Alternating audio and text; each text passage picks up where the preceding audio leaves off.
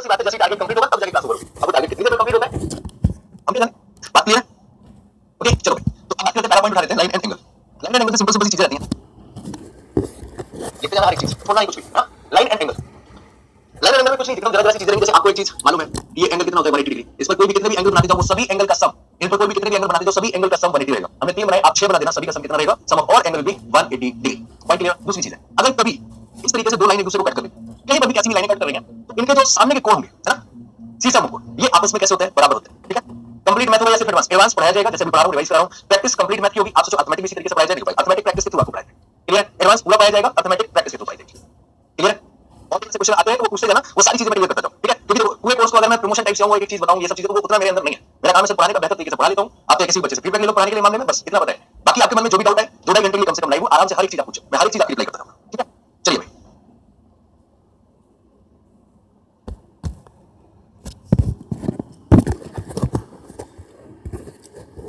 एक minute okay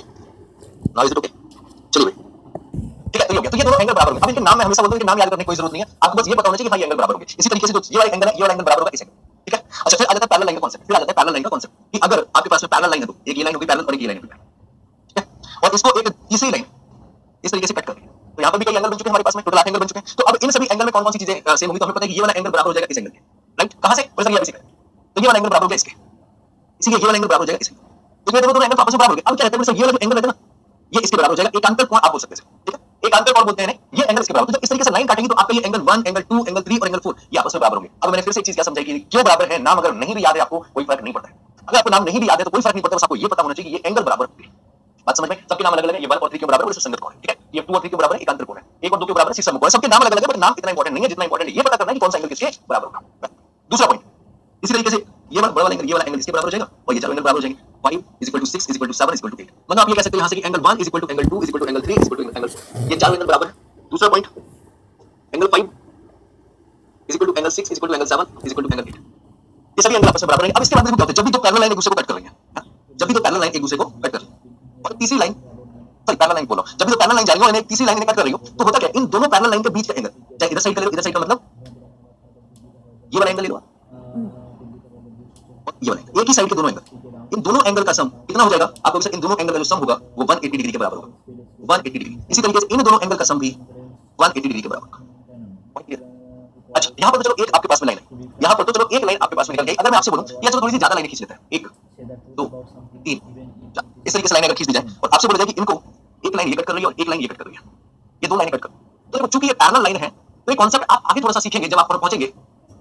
similarity में। Triangle पढ़ते हैं ना सिमिलरिटी सिमिलर ट्रायंगल वाला कॉन्सेप्ट तो हम लोग सिमिलरिटी पहुँचेंगे, तब तो हम लोग डिटेल में ये चीज़ें समझेंगे। लेकिन ये कॉन्सेप्ट क्या ये आया वहीं से है बट चूँकि यहाँ पर लाइन का यूज़ होता है, इसलिए इस टाइप का सवाल लाइन में ज़रूर रखा जाता है। बट ये कॉन्सेप्ट कहीं बाहर का नहीं है, ये कॉन्सेप्ट सिमिलरिटी का है, जो सिमिलर ट्रायंगल वाला कॉन्सेप्ट इस तरीके वाला। ये सवाल लगाते हो इस तरीके से ये कॉन्सेप्ट आप लोगों ने पढ़ के रखा होगा ए बी सी और डी और ई डी और ई डी ई और बी सी पैरेलल लाइनें हैं, एक लाइन ये कट कर एक लाइन ये कट कर तो आप देख सकते हो इसी तरीके का फिगर बन जाएगा। तो जो डिफरेंस थ्योरम होती है सिमिलरिटी पर, जो रेशियो इसका और इसका होगा, वही रेशियो इसका और इसका डिफरेंस थ्योरम रहती है। हमेशा जो रेशियो इन दोनों इन दोनों का रहेगा, वही रेशियो इन दोनों इन दोनों का तो वही डिफरेंस थ्योरम यहाँ पे अप्लाई होती है। और जब अप्लाई होती है तो आपके पास रिज़ल्ट कुछ इस तरीके से आता है कि अगर हम नाम दे दें A B C D E F G H तो डिफरेंस थ्योरम का रिज़ल्ट कुछ इस तरीके से निकल के आता है कि आपको सर ए बी और ई एफ़ का रेशियो मतलब ए बी और ई एफ़ का जो रेशियो होगा, वही रेशियो बी सी और एफ़ जी का होगा। वही रेशियो बी सी और एफ़ जी का होगा। और वही रेशियो सी डी और जी एच का होगा। सी डी और जी एच का होगा। कंडीशन सिर्फ़ एक है कंडीशन सिर्फ़ एक है। कौन सी? बोले सर एक ही कंडीशन है कि A E parallel to B F parallel to C G parallel to B H ये कंडीशन अगर है, तभी ये चीज़ काम करेगी। ये वो सारे पॉइंट्स थे जो आपके लाइन से आपसे पूछे जा सकते हैं टॉपिक लाइन एंड एंगल से आपसे पूछ सकते हैं। यही वो सारे पॉइंट है। बात सभी को क्लियर समझ में आई? बात क्लियर समझ में आई सभी को? यस और नो चलो आगे बढ़ते हैं फिर, अब बात कर लेते हैं पॉलीगन ठीक है? पॉलीगन थोड़ा सा डिटेल में समझ लेना। ठीक है, थोड़ा सा डिटेल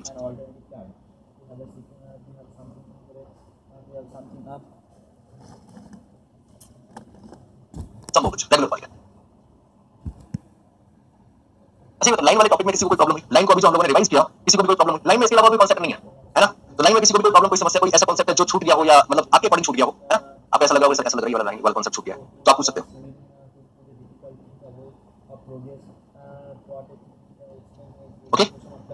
चलिए फिर हम लोग बढ़ते पॉलीगन पॉलीगन क्या होता है? देखो, एक बंद आकृति रहती है लाइन में अभी तक आपको क्लोज फिगर नहीं लिखा हुआ। लाइन में क्लोज फिगर नहीं मिलेगा, लेकिन जब हम तीन या तीन से ज़्यादा लाइन दो लाइनों पर भी क्लोज फिगर नहीं बनता है। दो लाइनों पर एंगल बनेगा जो कि क्लोज फिगर नहीं होगा। क्लोज फिगर कब बनेगा? जब लाइनें तीन हो या तीन से ज़्यादा हो। तो कोई भी क्लोज फिगर हो, वो पॉलीगन में आता है, जिसमें ज़्यादा साइड हो पॉलीगन में डेफिनेटली आएगा। अब रेगुलर पॉलीगन कौन सा होता है? वो पॉलीगन वो बहुभुज बहुभुज का मतलब है ना बहुत सी भुजाएँ होनी चाहिए। तो रेगुलर पॉलीगन वो पॉलीगन होता है, जिसकी सारी भुजाएँ बराबर हो, सारे एंगल बराबर दूसरा, आप लोगों से क्रॉस क्वेश्चन है, सबसे छोटा रेगुलर पॉलीगन बताओ। सबसे छोटा रेगुलर पॉलीगन कौन सा होगा?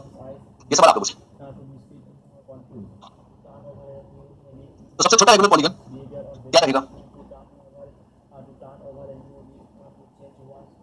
रेगुलर पॉलीगन क्या जाएगा?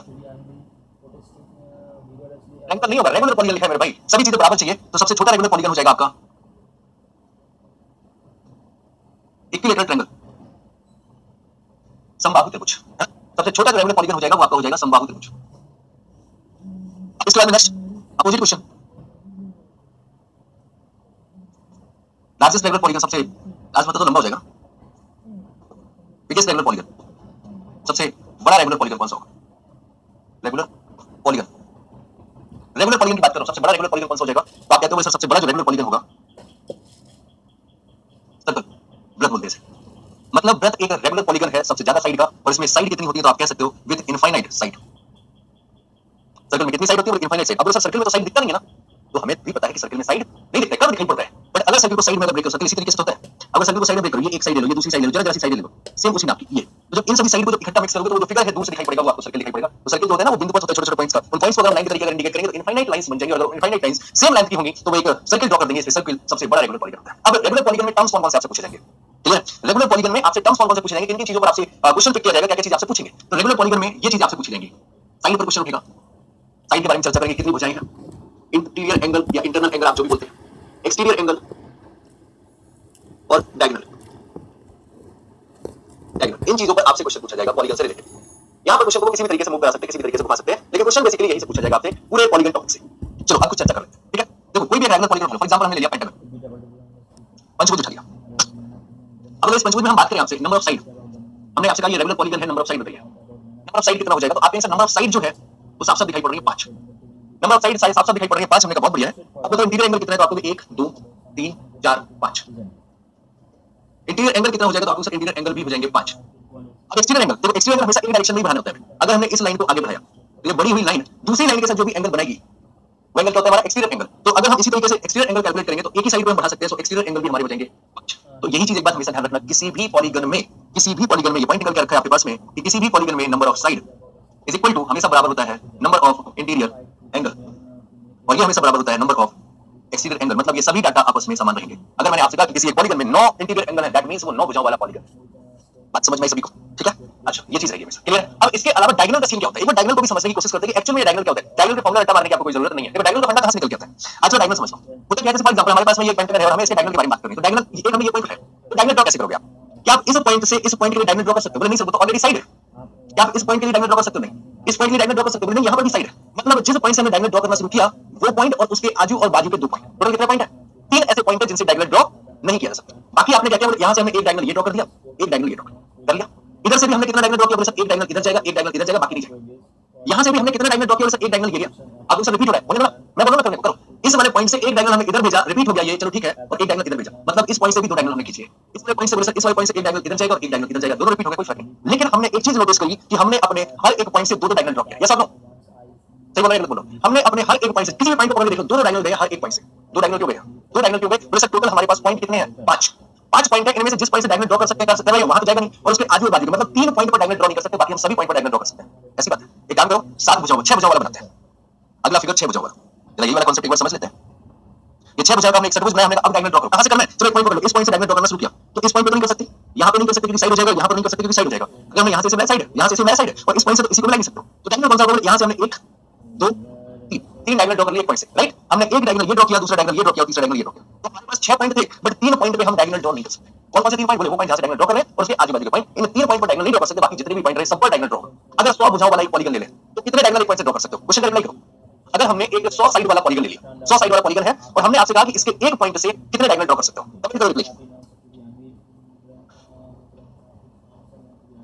तो कितने कर सकते हैं? वो 100 पॉइंट हमारे पास में पॉलीगन में, तीन पॉइंट पर हम डायगोनल ड्रॉ नहीं कर सकते।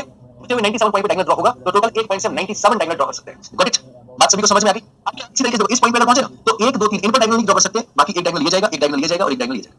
यहाँ पर आ जाओ। एक डायगोनल ये रिपीट हो गया, कोई बात नहीं में देखेंगे। ये आ गया और तीसरा ये रहेगा हर एक पॉइंट से तीन तीन डायगोनल ड्रॉ कर सकते हो। हर एक पॉइंट किसी पॉइंट को पकड़ लो सभी सभी पॉइंट पर तीन तीन डायगोनल मतलब ये रहा कि जब हमारे पास अगर n साइड है, अगर हमारे पास हमने बोला कि n साइड है साइड मतलब एन वर्टेक्स हुए एन पॉइंट हो गए डायगोनल ड्रॉ करने के लिए। अगर एन साइड है तो एन वर्टेक्स हो गए, हमारे पास डायगोनल ड्रॉ करने के लिए ओके लेकिन हम डायगोनल कितने ड्रॉ कर सकते हैं?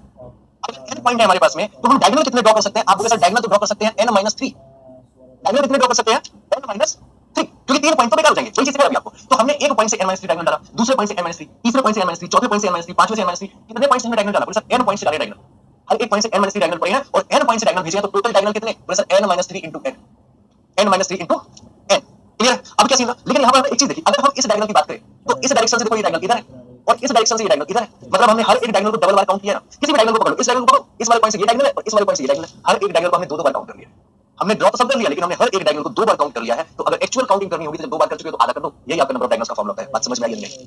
नंबर ऑफ़ डायगोनल्स यही फॉर्मूला है आपका। जो कहते हैं ना पॉलीगन के नंबर ऑफ़ डायगोनल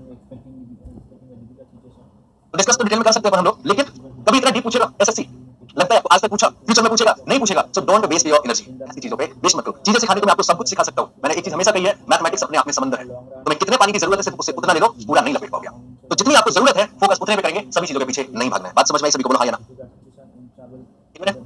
राइट चलिए तो ये डायगोनल वाली चीज़ तो कंप्लीट हो गया डायगोनल तो हम कैलकुलेट कर लेंगे। इसके अलावा हम लोग अभी एंगल्स वगैरह पे काम करते हैं। ठीक है तो अगर आपको इन्होंने दे रखा है कि नंबर ऑफ़ साइड है ना? नंबर ऑफ़ साइड के बारे में दे रखा है आपको। एग्जांपल अगर हमने मान लिया कि नंबर ऑफ़ साइड n है नंबर ऑफ़ साइड n है तो इंटीरियर एंगल क्या होता है? तो आपके ये होता है 2n 4 into 90 by n. ये होता है इंटीरियर एंगल कुछ लोग प्रेजेंटेशन खतरनाक कर देते हैं। खतरनाक कैसे करते दो कॉमन ले लो। अब दो तो कॉमन ले सकते हैं, सब सब दिखाई पड़ रहा है। अब दो कॉमन ले लिया तो 180 हो जाएगा। तो क्या बचेगा? यहाँ से बच जाता है n 2 by n into pi कर देते हैं। अरे परमात्मा, pi बराबर 180 होता है। ठीक है, हमें पता है तो pi रेडियन जो कुछ करना वो करो। 180 किसी भी तरीके से प्रेजेंट करो, बात तो एक ही कुछ एंगल की हम बात करें तो ये होता है आपका 360 डिग्री बाई n. अब मुद्दा यहाँ से निकल आया। बोले ये तो n पे डिपेंड सीधा सीधा ये तो यहाँ पर तो चीज़ें काफ़ी ज़्यादा घटेगी बढ़ेगी लेकिन एक्सटीरियर एंगल हमेशा 360 बाई n ही रहेगा। एक्सटीरियर एंगल हमेशा 360 बाई n ही रहेगा। ऐसा क्यों होता है? ऐसा क्यों होता है कि एक्सटीरियर एंगल हमेशा 360 बाई n रहेगा?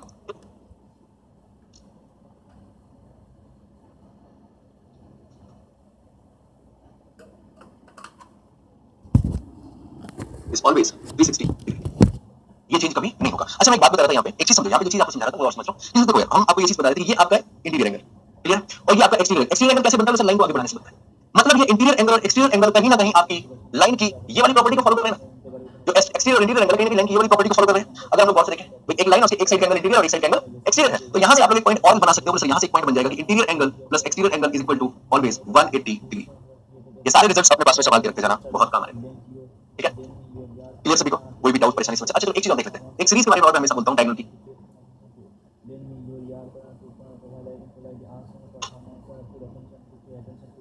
जितने भी लोग क्लास अटेंड कर रहे हो, जितने भी लोग क्लास अटेंड कर रहे हो, चाहे वो आप एप्लीकेशन पे कर रहे हो, चाहे आप पाठशाला पे कर रहे हो, चाहे आप पर्सनल पे कर रहे हो, कहीं पर भी क्लास अटेंड कर रहे हो, कोई इशू नहीं है। सबके सब लोग ये टेबल आज ड्रॉ करके अपनी स्टडी टेबल के सामने चिपका देना हमारे कमरे दो टेबल देखनी चाहिए एक वो जिसका पढ़ते हो, एक वो आप पढ़ोगे।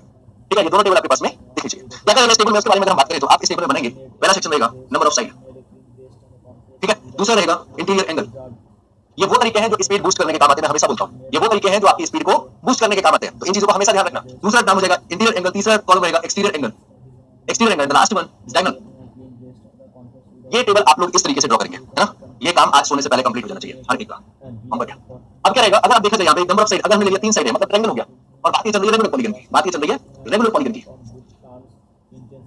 बाकी रेगुलर पॉलीगन की चल रही है रेगुलर पॉलीगन है, हमने लिया तीन साइड वाला ट्रायंगल लिया इक्विलेटरल ट्रायंगल हो गया तो इसका इंटीरियर एंगल आपको पता है 60 डिग्री होता है। तो एक्सटीरियर एंगल को भी सम हो जाएगा 180 इन दोनों का जो सम होता है, वो 180 डिग्री होता है, आपको भी पता है। अगर ये 60 तो 120 त्रिभुज में डायगोनल कितना होता है? ज़ीरो होता है। चीज़ ध्यान रखें। ठीक है, उसी तरीके से अगर हम चार की बात कर रहे हैं, चार में कौन सा आएगा? चार में कौन सा है रेगुलर पॉलीगन जरा नाम बताओ। ये तो आपका इक्विलेटरल ट्रायंगल चार में कौन सा पॉलीगन होता है? कोई बताएगा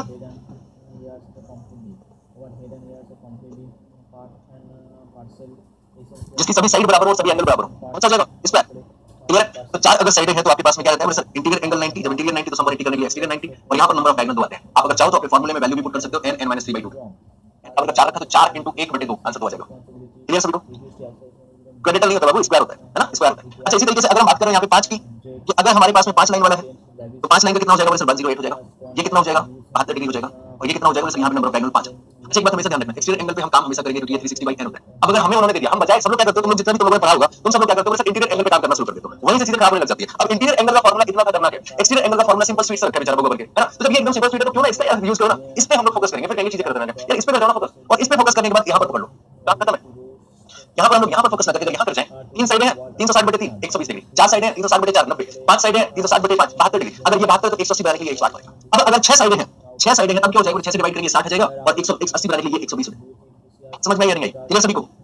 नंबर ऑफ़ डायगोनल नौ हो जाएँगे इधर ठीक है अच्छा इसके बाद अगर सात साइड हो जाए तो?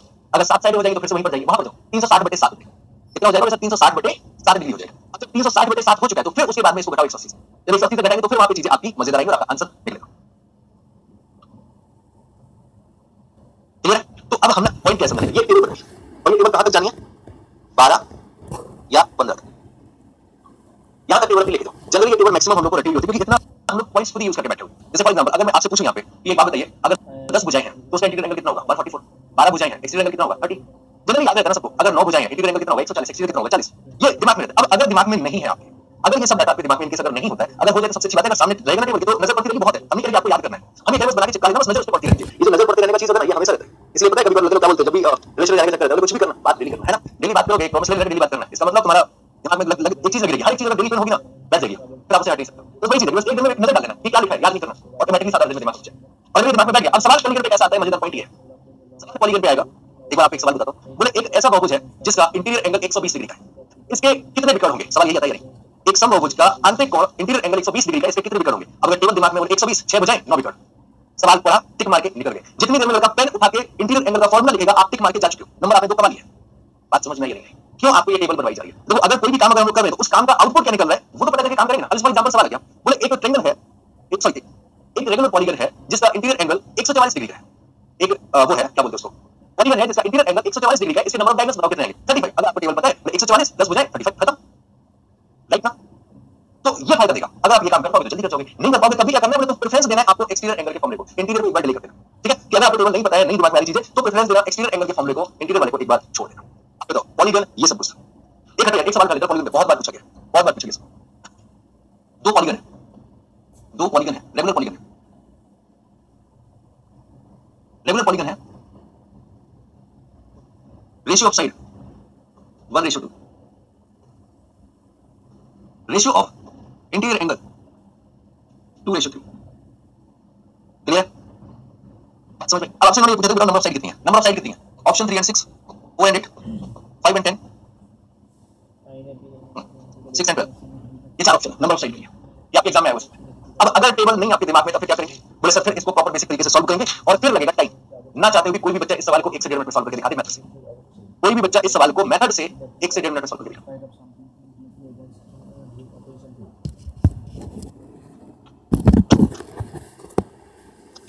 से सॉल्व करने वाली बात तो होगी। अब जो चीज़ हम आपको सिखाए, उसका मतलब तीन बुझाई है इंटीरियर एंगल साठ, छह बुझाई एक सौ बीस।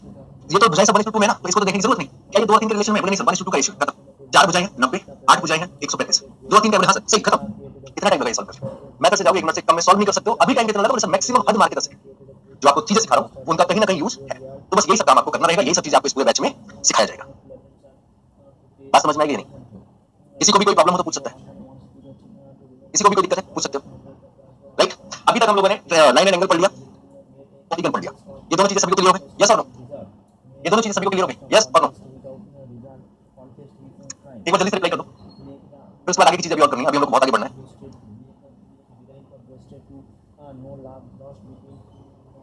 जल्दी से बताओ आगे भी बढ़ना है। इतना टाइम नहीं ले सकते हो पढ़े हो? ब्रह्म सांगवान। ओके बढ़िया है। पढ़े हो? फिर भी पढ़ने की ज़रूरत आ रही है आपको? ऐसा क्यों चलिए तो दो चीज़ें हम लोग कवर कर चुके हैं अब बारी ट्रायंगल ये एक बात तो ध्यान रखना कि क्रैश कोर्स है। पहले से ही बोल रखा है क्रैश कोर्स है। असली ढंग तो मुझे यही पड़ता है है ना? असली ढंग तो यही पे आता है क्रैश कोर्स में स्पीड रहेगी। तुम्हारी स्पीड हल्की सी भी कम हुई ना। जैसे रेस होती है ना आर्मी की कभी रेस देखो? आर्मी वाली जब फौज की भर्ती निकलती है तो वो भर्ती वगैरह देखने गए कभी? ना गए तुम दौड़ने ना गए देखने गए कभी? क्योंकि मेरा टाइम तो लगता है वहाँ पे। तो अगर कभी देखने भी जाओ तो वहाँ पे अगर आप ये सोचो कि हम धीमे धीमे दौड़ेंगे फिर आगे निकलेंगे कब पाएगा जैसे ही रेस के लिए फायर बोला गया और चीज़ें आपसे दौड़ने के बोला हाल गिरता, दम लगा के भागना शुरू करते हैं। और जो उस रेस में एक बार पीछे गिर गया या पीछे हट गया, वो आगे तक, आगे नहीं आ पाता। जो गिर गया, वो तो निपट ही जाएगा। वो पता नहीं कहाँ कहाँ से छूट गया है कोई आइडिया नहीं।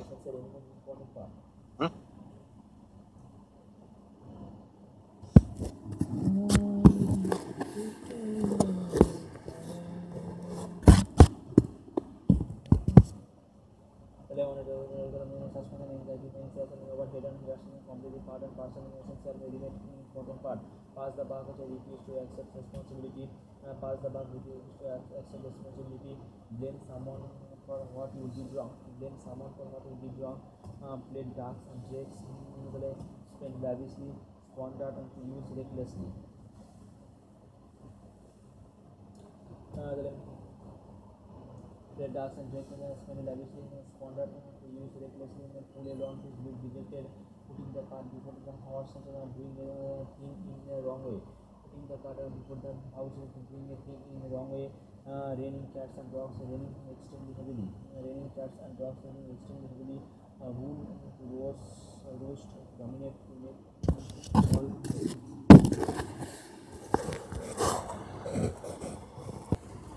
सारी चीज़ें डिस्कस कर दी थी कि ये कोर्स किस तरीके से चलेगा। ये हर एक चीज़ उस क्लास में बता दी जिनको भी जानना है डिटेल में, उस वीडियो को देख सकते हैं। बार बार वही चीज़ डिस्कस करके टाइम वेस्ट करने का कोई मतलब नहीं। ठीक है? शॉर्ट इन्फॉर्मेशन कोर्स को लेकर यही है कि जो कोर्स है, ये पूरी सॉरी पूरी एडवांस मैथमेटिक्स को कवर करेगा। इसके साथ ही साथ मिसलेनियस प्रैक्टिस हर एक टॉपिक का, फिर वो चाहे मैथमेटिक्स हो, चाहे एडवांस हो मिसलेनियस प्रैक्टिस की जाएगी और लास्ट में कुछ मॉक टेस्ट के थ्रू प्रैक्टिस की जाएगी। ये चीज़ रहेगी क्लासेस जो है, वो टॉपर्स एप्लीकेशन पे चलेगी। फ़ीस इसकी ट्रिपल नाइन है, नौ सौ निन्यानवे, एक हज़ार रुपए आप अपने अकॉर्डिंग कह सकते हो। ये सारी चीज़ें रहने वाली और class duration approx three to four hours के आसपास चाहिए डेली क्लासेस चलेंगी आपकी सीजीएल प्री के एग्ज़ाम तक आपको इस तरीके से कोर्स में प्रिपेयर जाएगा कि आप मेंस में भी परफॉर्म कर पाओ, उस कोर्स को पढ़ करके, ठीक है? वैलिडिटी सिक्स मंथ है, यही सब चीज़ें, जो चीज़ें हम लोगों ने डिस्कस कर रखी थी बार बार उन चीज़ों को डिस्कस करने का कोई मतलब नहीं है। अब आते हैं अपने मुद्दे पर। कल हम लोगों ने ज्योमेट्री की स्टार्टिंग कर थी साथ ही साथ ज्योमेट्री में हमने आपको बताया था कि पाँच सेक्शन लगे मैंने सिर्फ़ ज्योमेट्री की बात की ज्योमेट्री के बाद में नेक्स्ट पार्ट आएगा हमारा कोऑर्डिनेट ज्योमेट्री ज्योमेट्री के जो पाँच पार्ट हमने बताया आपको बताया कि लाइन एंड एंगल हो जाएगा पॉलीगन हो जाएगा ट्रायंगल क्वाड्रेंटल एंड सर्किल ये पाँच पार्ट आपको बताया गया कल हम लोगों ने लाइन एंड एंगल और पॉलीगन दो चीज़ कंप्लीट कर लिया था ट्रायंगल स्टार्ट करने वाले थे बट किसी रीजन की वजह से आगे कंटिन्यू नहीं कर पाए। तो आज का जो सेशन रहेगा वो ट्रायंगल को स्टार्ट करते हुए ही रहेगा। सभी लोग रेडी हो? लोग रेडी हो यस और फिर स्टार्ट करते हैं कल जो भी पढ़ाया गया आई होप आप लोगों ने उसे नोट्स बना के रखे होंगे। जो भी चीज़ आपको कहीं पर भी पढ़ाई उसके प्रॉपर नोट्स वगैरह बनाएँगे, क्योंकि अपने नोट्स से जो भी आप चीज़ सीखोगे, वो दूसरे के नोट्स से नहीं सीख सकते। ये हम लोग का साइकोलॉजिकल इफ़ेक्ट रहता है। बट इसके अलावा, इस कोर्स में आपको क्वेश्चन के पीडीएफ वगैरह सब दिए जाएँगे, साथ ही साथ जो आपको पढ़ाया जाता है, इसकी भी पीडीएफ आपको प्रोवाइड कराई जाएगी। क्लास नोट्स जिसको आप बोलते हो, वो कुछ नहीं होता, वो भी आपको प्रोवाइड किया जाएगा। आई थिंक इन्फॉर्मेशन कंप्लीट हो चुका है, हम लोग कंटिन्यू कर सकते हैं सेशन को। तो आज का टॉपिक स्टार्ट कर रहे हैं ट्रायंगल से।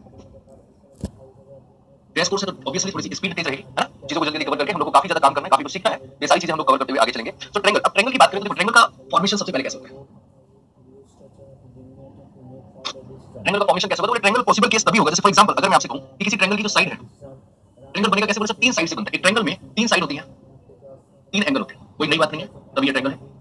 तीन साइड होंगी और तीन एंगल होंगे। अब अगर उन साइड के बारे में बात करें कि अगर वो साइड ए बी और सी है तो कोई भी एक साइड कोई भी एक साइड फॉर एग्जांपल हमने ए साइड ले ली। ये साइड हमेशा बाकी की दोनों साइड के सम से छोटी होगी और इन दोनों साइड के डिफरेंस से बड़ी होगी। तभी ये ट्रायंगल फॉर्म कर पाएँगे। अदरवाइज़ ट्रायंगल फॉर्म नहीं कर पाएँगे। तो ट्रायंगल को फॉर्म करने की ये प्रॉपर्टी होती है। इस प्रॉपर्टी पर भी आपसे सवाल पूछ रहे हैं। ठीक है? ये चीज़ हो गया। अब इसके बाद में आ जाता है ट्रायंगल के टाइप कौन कौन से हैं? है ना? इसके बाद में आ जाता है ट्रायंगल के टाइप कौन कौन से हैं? किस किस तरीके के ट्रायंगल में देखने को मिलेंगे। तो दो तरीके से ट्रायंगल को डिस्ट्रीब्यूट किया गया। एक ट्रायंगल को डिस्ट्रीब्यूट किया एंगल के पैटर्न पर और दूसरा डिस्ट्रीब्यूट किया गया साइड के पैटर्न पर।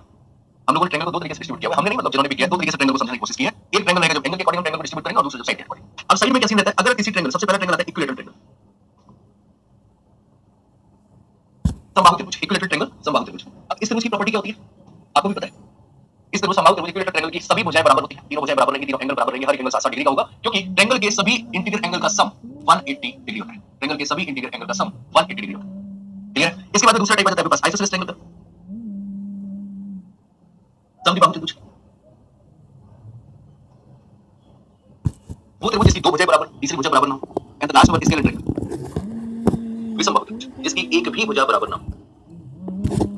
है ना? ये बाहु से याद आ गया, फिर एक पुरानी अपनी कहानियों में एक सहस्त्र बाहु, है ना? उसके हज़ार भुजाएँ थी। बाहु मतलब भुजाएँ विषम मतलब कोई भी सेम ना हो। सम द्वि समान है दो भुजाएँ जिसकी दो भुजाएँ बराबर है समद्विबाहु तब बाहु जिसकी सारी भुजाएँ बराबर है इक्विलेटरल ट्रायंगल समबाहु तो इस तरीके से साइड के अकॉर्डिंग हमने ट्रायंगल को तीन पार्ट में डिस्ट्रीब्यूट किया।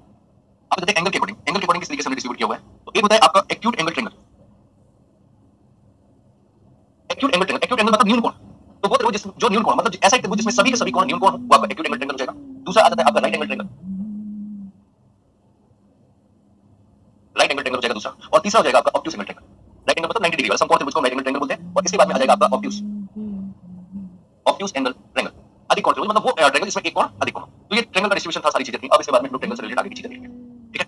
अब एक काम करते हैं, इस साइड इस सीन को थोड़ा सा और एलाबोरेट करते हैं। ये एंगल वाले एंगल वाले पैटर्न के अकॉर्डिंग जो आपने ट्रायंगल को डिस्ट्रीब्यूट किया हुआ है, इसको थोड़ा सा एलाबोरेट करते हैं। एक हो गया आपका एक्यूट एंगल ट्रायंगल चीज़ें रिवाइज होती जा रही हैं सभी की? यस और नो सभी की सारी चीज़ें रिवाइज होती जा रही हैं। राइट एंगल ट्रायंगल इसी तरीके से सारी चीज़ें रिवाइज कर जाएँगे हम लोग। और आखिरी होता है ऑब्ट्यूज एंगल ट्रायंगल जब काम की चीज़ पढ़ेंगे ज़्यादा लंबी लंबी फेंकने की कोई ज़रूरत है नहीं, क्योंकि तुम लोग बेवकूफ़ तो हो नहीं कि तुम्हारे सामने कुछ भी फेंक दिया काम तुम्हें बजा लिया जाए। सीधे काम की बात करूँगा सोचो लंबी लंबी फेंकने को यहाँ पे मिलेगा तो यहाँ पे ऐसी कोई भी तसल्ली आपको नहीं दी जाएगी। वो जहाँ पर भी आपको दी जाएगी, वो आप देख सकते हो अपने हिसाब से। यहाँ पर चीज़ें किस तरीके से चलती है, आप सब अच्छे से जानते हो। तो ये एंगल का। अब हमें राइट एंगल ट्रायंगल की प्रॉपर्टी पता है। हमें राइट एंगल ट्रायंगल की प्रॉपर्टी पता है कि अगर साइड है ट्रायंगल की साइड है ए बी और सी जहाँ पर सी जो है लार्जेस्ट साइड है। लार्जेस्ट साइड ध्यान रखना सी जो है, वो लार्जेस्ट साइड है। ठीक है? तो प्रॉपर्टी क्या बन के आएगी? आपके तो राइट एंगल ट्रायंगल में हो जाएगा। A square plus b square is equal to c a square plus b square is equal to c square इसी को आपने एक नाम देके रखा है। पाइथागोरस इस पाइथागोरस थ्योरम को आपने किस फॉर्मेट में पढ़ा होगा। Perpendicular square plus base square is equal to hypotenuse square यहाँ पर हाइपोटेनस होता है लार्जेस्ट साइड हमारी डाटा में सी लार्जेस्ट साइड है तो सी क्लियर तो ये चीज़ आप लोगों ने पढ़ रखी होगी। ओके? क्या पूछ रहे है?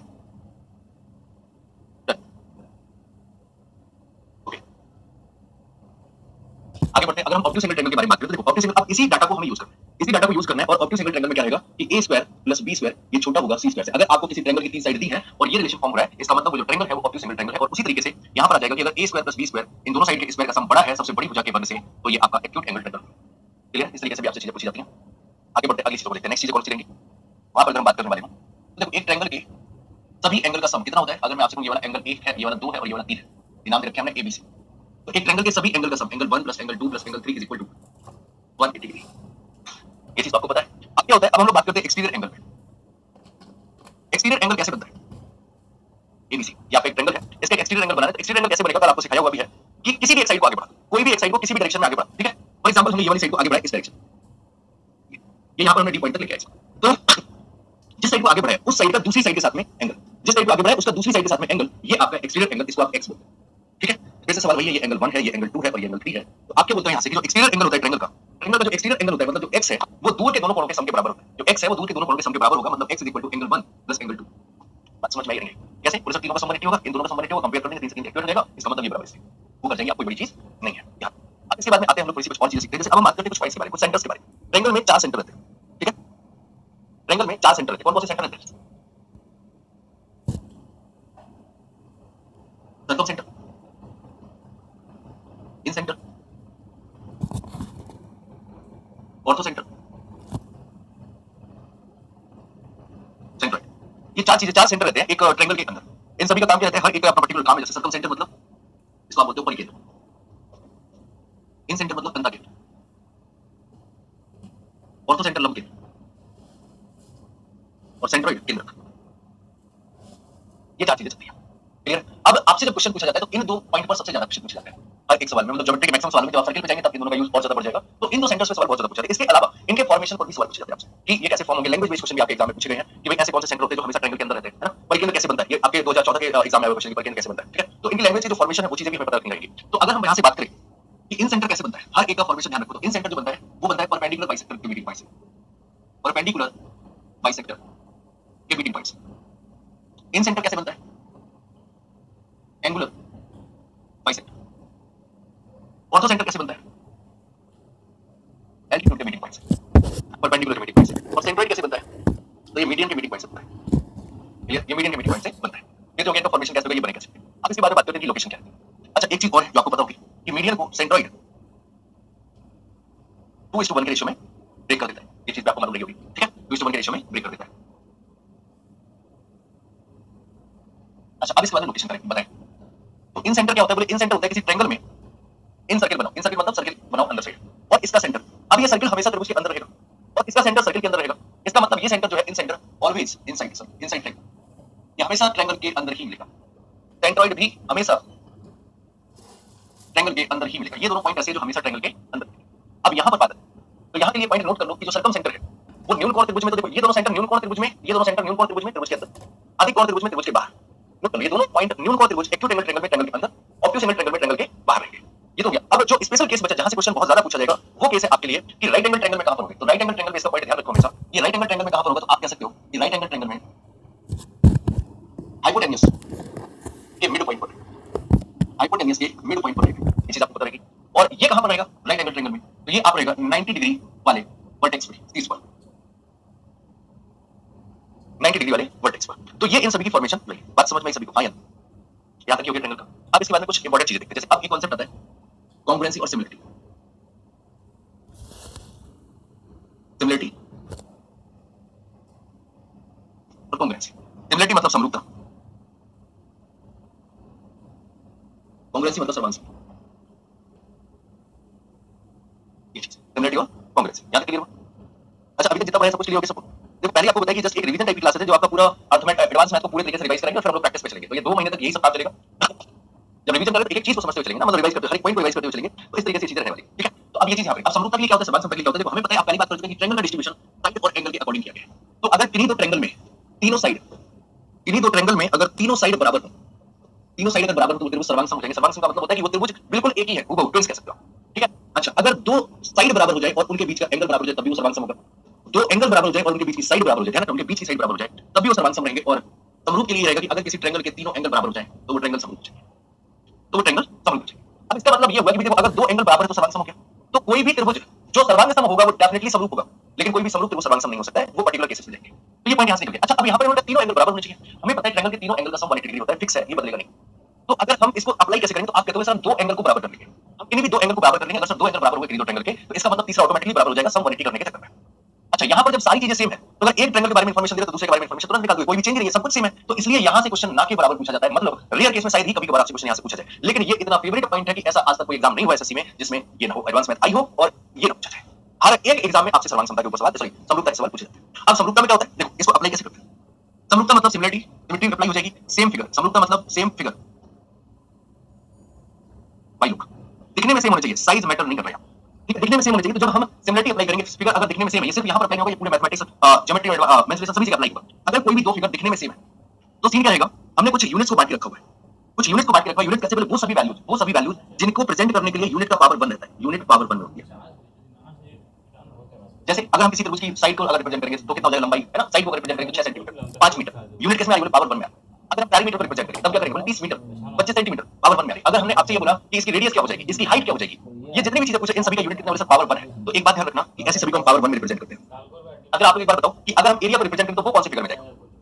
जैसे हमने जिनका पावर वन था उनको वन फिगर में डाल दिया। जो एरिया है, वो कौन से फिगर में जाएगा? तो आपको जो एरिया है, वो टू फिगर में जाएगा। क्योंकि एरिया का प्रेजेंटेशन हम डबल से पावर स्क्वायर पे करते हैं कभी भी एरिया लिखा हुआ देखेंगे। तो सेंटीमीटर स्क्वायर या मीटर स्क्वायर में रिप्रेजेंट किया जाएगा। इसके अलावा अगर हम बात कर लेते हैं वॉल्यूम को लेकर तो वॉल्यूम हो जाएगा यहाँ से थ्री फिगर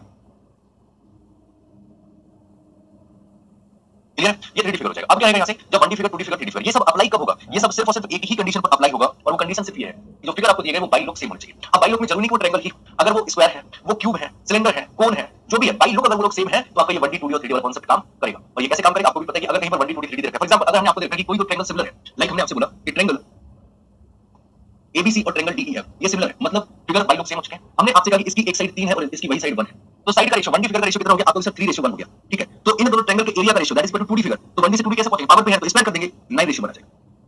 बात समझ में? अगर ये क्यूब वॉल्यूम वगैरह को लेकर बात कर रहे थे, अगर ये कोन होता या ये स्फीयर होता, गोला होता तो फिर वॉल्यूम की बात करते हैं वॉल्यूम रेशियो निकल जाता 27 रेशियो क्लियर है? तो ये सारी चीज़ें रहेंगी सिमिलरिटी वगैरह को लेकर अब इसके बाद में बात करते हैं सिमिलरिटी की एप्लीकेशन कौन कौन से सिमिलरिटी की एप्लीकेशन बहुत ज़्यादा इंपॉर्टेंट है, और उनमें दो फिगर ऐसे हैं जिन्हें एसएससी हर बार पूछता है। इन दोनों फिगर को एसएससी हर बार पूछता है ऐसा कोई भी एग्ज़ाम नहीं है। जिस एग्ज़ाम में आपके एग्ज़ाम काफ़ी लंबे लंबे टाइम के चलते तो आप कोई भी एग्ज़ाम उठा के देख चाहे सीजीएल 2019 का उठा लो, चाहे सीजीएल 2019 का मेंस उठा लो 18 का प्री उठा लो 18 का मेंस उठा लो सीएचएस उठा लो, कोई भी एग्ज़ाम उठा के देखो, इन दोनों फिगर में से एक तो कौन कौन से फिगर होते हैं? फिगर नंबर 1 एक इस तरीके से ट्रायंगल बना इस ट्रायंगल का नाम आपको दे देंगे ए बी और सी एक फिगर बना दिया उन्होंने ए बी सी एक ट्रायंगल दे दिया आपको। आपसे क्या?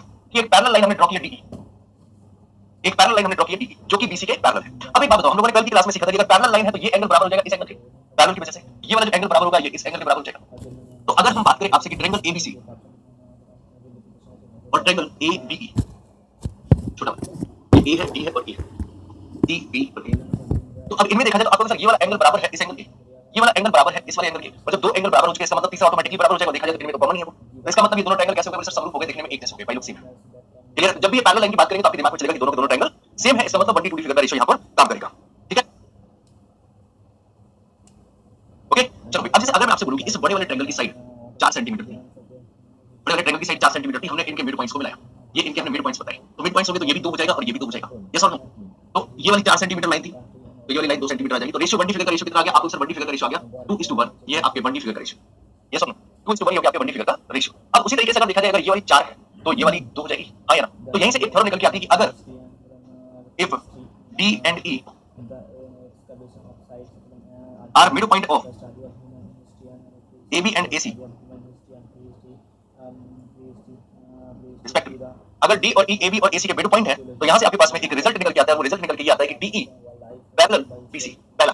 दूसरा DE is equal to 1 by 2 BC BC का आधा होगी। ये दो रिज़ल्ट निकल के आते हैं, अगर ये दो पॉइंट आपको इस तरीके से अच्छा बात करते हैं अपने एरिया के बारे में। तो अगर इनकी साइड का रेशियो 1 2 2 1 का है तो इनके एरिया का रेशियो कितना हो जाएगा? आपका एरिया का रेशियो हो जाएगा 4 रेशियो 1 मतलब ये पूरे ट्रायंगल का एरिया 4 ऊपर वाले ट्रायंगल का एरिया 1 तो इसका मतलब ये अगर 1 हो गया, पूरे का 4 है तो रिमेनिंग पार्ट का एरिया हो जाएगा 3 रिमेनिंग पार्ट का हो गया क्या तक हो गया अब सवाल इसी मुद्दे पर आपसे पूछते हैं कि या तो इनका रेशियो दे रखेंगे आपसे और फिर आपसे साइड के बारे में चर्चा करेंगे। डिफरेंट डिफरेंट तरीके से इस टाइप के फॉर्म को वो लोग यूज़ करते हैं और आपसे सवाल पूछते हैं। तो एसएससी का सबसे फेवरेट फिगर है ज्योमेट्री में। बात सभी को समझ में आई? यस और नो नेक्स्ट दूसरा फिगर देखते हैं। अगला फिगर कौन सा एक राइट एंगल ट्रायंगल ABC और बी पे ये राइट एंगल बना है। बी पे 90 डिग्री बना है। अब क्या क्या गया बोले बी से एक परपेंडिकुलर ड्रॉ किया हमने एसी पर बीडी एक परपेंडिकुलर ड्रॉ किया हमने बीडी ये जो फिगर है। अब यहाँ पर अगर देखा जाए तो हमारे पास में एक राइट एंगल दूसरा राइट एंगल और तीसरा राइट एंगल ये तीनों के तीनों ट्रायंगल सिमिलर होंगे। ये तीनों के तीनों ट्रायंगल सिमिलर होंगे। अब जरा इन्हें सिमिलरिटी के अकॉर्डिंग रख के देखो पहला केस कौन सा बनेगा? Case number first case number first पे जाने से पहले एक रिज़ल्ट देख लेते हैं जो कि आपके एग्ज़ाम में पूछते हैं। एक रिज़ल्ट देख लेते हैं। रिज़ल्ट क्या है? जैसे अगर मैं आपसे राइट एंगल ट्रायंगल का एरिया पूछूँ तो राइट एंगल ट्रायंगल का एरिया कितना होता है? आपको सर ये एरिया होता है 1/2 base into height area yes और नो एरिया हो गया 1/2 बेस इनटू हाइट तो अगर इस ट्रायंगल का हम एरिया निकालने की आपसे बात करें कि इस ट्रायंगल का एक बार एरिया निकाल के देखो तो एरिया हो जाएगा आपके पास 1/2 बेस है BC और हाइट है AB हाँ या बेस है BC और हाइट है AB इस ट्रायंगल का एरिया हो गया एक तरीके से। दूसरा बच्चा बोला बेस अगर ये ले ले और हाइट AD BD ले ले तब भी तो काम बन जाएगा। तो दूसरे बच्चे ने क्या किया? उसने इस तरीके से निकाला कि 1 by 2 बेस है AC और हाइट है BD जब दोनों एक ही ट्रायंगल के एरिया तो आपस में बराबर हो जाएँगे। ये दोनों कैंसिल हो जाएँगे तो यहाँ से BD की वैल्यू आपके पास आ जाएगी। AB into BC upon AC या फिर आप इस तरीके से भी इसको कह सकते हो perpendicular into base upon hypotenuse जैसे भी आप रिप्रेजेंट करना चाहो। और ये आपसे डायरेक्टली सवाल में पूछा। ये चीज़ आपसे सवालों में डायरेक्टली पूछी अब इसके बाद में अगली चीज़ को देखते हैं जो हम बात कर रहे थे इस पॉइंट पर, कि अगर हम पहले कौन से ट्रायंगल को सिमिलर करके देखें तो एक हमने ले लिया। बड़ा वाला ट्रायंगल एबीसी और एक हमने ये वाला ट्रायंगल तो अगर इसको इसके सिमिलर रखना है तो इस तरीके से तो अब नामों का देख लेते हैं नामों का सीन क्या रहेगा। अगर हमने इसको x लिया तो ये वाला एंगल आएगा 90 माइनस x ये वाला एंगल x हो जाएगा और फिर ये वाला एंगल आ जाएगा 90 माइनस एंगल हो चुका ना? अब यहाँ पर देखा जाए तो ये वाला एंगल हमारे पास था 90 माइनस x ये वाला x है। अब इस ट्रायंगल का x कहाँ पे सी पर है तो ये पॉइंट सी हो गया। 90 डिग्री डी पर है और 90 माइनस x भी। ये दोनों ट्रायंगल आपस में सिमिलर ये दोनों ट्रायंगल आपस में सिमिलर तो इनकी जो करस्पॉन्डिंग साइड होगी, उनका रेशियो सेम रहेगा। अब इनकी करस्पॉन्डिंग साइड कौन सी होगी? करस्पॉन्डिंग साइड एक तो हम लेते हैं यहाँ से। AB और BC पर तो चलो गया। CD का काम ठीक है? तो CD हमने यहाँ से हमने लिया BC और उधर वाला अगर ये BC तो उधर वाला यहाँ पर CD है। BC और CD ले लिया। अब इसके बाद में BC यहाँ पर ले लिया तो यहाँ वाला AC लेगा इधर का अगर हमने AC ले लिया तो यहाँ से हमने BC उठा लिया। आपके पास में यहाँ से आ जाता है कि CD equal to BC square upon AC और ये आपका एक फॉर्मूला है। ये आपका एक फॉर्मूला है कि CD is equal to BC square upon AC इसी तरीके से अगर हम बाकी के दोनों ट्रायंगल को इक्वेट करें ये आपका पहला था। इसी तरीके से बाकी के एंगल्स को अगर इक्वेट करते हैं तो दूसरा निकल के आ जाएगा आपके पास। AD हो गया AD equal to A B square upon AC ये दूसरा रिज़ल्ट निकल गया। अब काम करो, ये आपके पास में रिज़ल्ट 2 है और ये आपके पास रिज़ल्ट 1 है। तो आपके पास नेक्स्ट पार्ट में नेक्स्ट आपको काम दे रहा हूँ कि इक्वेशन 2 डिवाइडेड बाय इक्वेशन 1 जब इस तरीके से डिवाइड करोगे तो आपके पास रिज़ल्ट क्या आएगा? अगर 2 को 1 से डिवाइड किया तो आपको A D upon D equal to A B upon BC whole square. और ये आपके पास तीसरा इंपॉर्टेंट रिज़ल्ट है। 2019 के पेपर में डायरेक्टली रिज़ल्ट पूछा गया था। आपको ये दोनों साइड देके रखी थी। डायरेक्ट रिज़ल्ट था। ये दोनों साइड देके रखी थी। AD और CD का रेशियो पूछा था। तो आपको पता होना चाहिए AD का और CD का रेशियो इनके स्क्वायर के अकॉर्डिंग आता है। ये ये सारे के सारे रिज़ल्ट नोट कर लो। बहुत इंपॉर्टेंट रिजल्ट्स सभी को क्लियर होगी ये सब बातें? यस और नो ये सारी चीज़ें क्लियर होगी सभी को?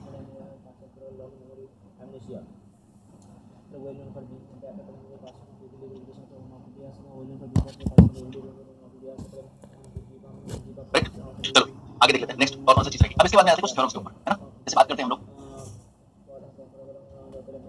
Angular bisector angular bisector angular bisector बोले एंगल को बाइसेक्टर वाली फॉर्मूला ये है अगर आपसे बोला जाए कि ट्रायंगल है, ये ABC और हमने इसका एक एंगल को बाइसेक्ट किया, इसको हमने बाइसेक्ट किया। ये डी पॉइंट पर जाकर मिलता है ये डी पॉइंट पर जाकर मिलता है तो इन दोनों साइड का रेशियो बराबर होगा इन दोनों साइड का रेशियो ये एंगल बाइसेक्टर थ्योरम का रूल है।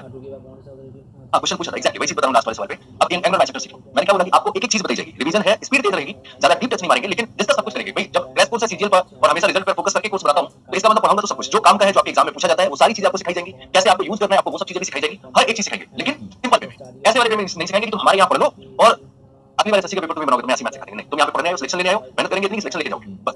बात फोकस वहाँ पे मेहनत पे है। कितना आप मेहनत करते हो, कितना मेहनत करते हो रिज़ल्ट बनता है। बातों से सिलेक्शन नहीं होता है।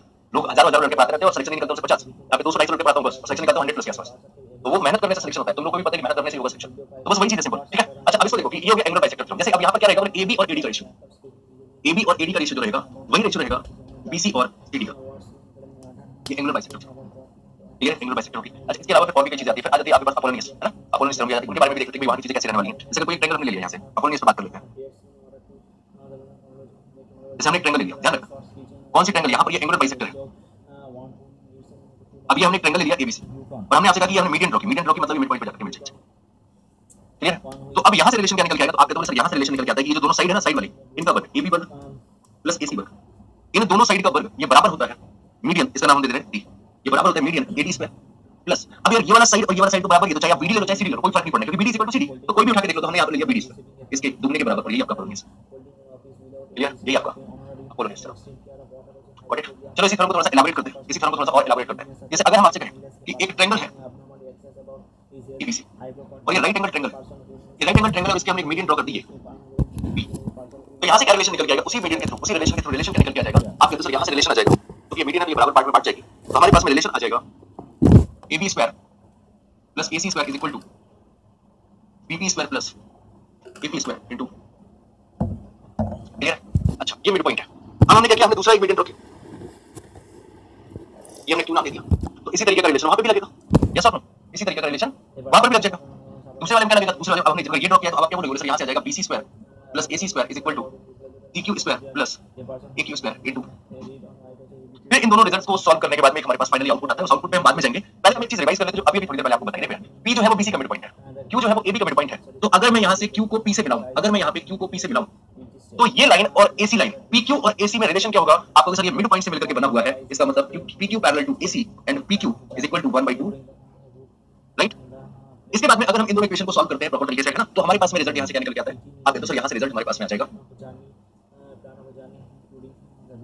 B square plus C square ninety degree वाली साइड और दोनों medium A P square plus Q square this multiplied by five and this multiplied by four ये फाइनली रिज़ल्ट आता है। और अगर आपको याद हो तो सीजीएल मेंस के हर एक पेपर में इस पर डायरेक्ट क्वेश्चन आया था। यस और नो इस पर डायरेक्ट क्वेश्चन आया था और क्वेश्चन क्या था? सवाल उन्होंने सिर्फ़ ऐसा एक फिगर दे दिया था, आपसे ये पूछ दिया था A B square plus B C square upon A P square plus C Q square की वैल्यू क्या होगी? आंसर फाइव बाई फोर ये पूछा हुआ सवाल है, दो हज़ार उन्नीस के पेपर की बात कर रहा हूँ। क्लियर सभी को?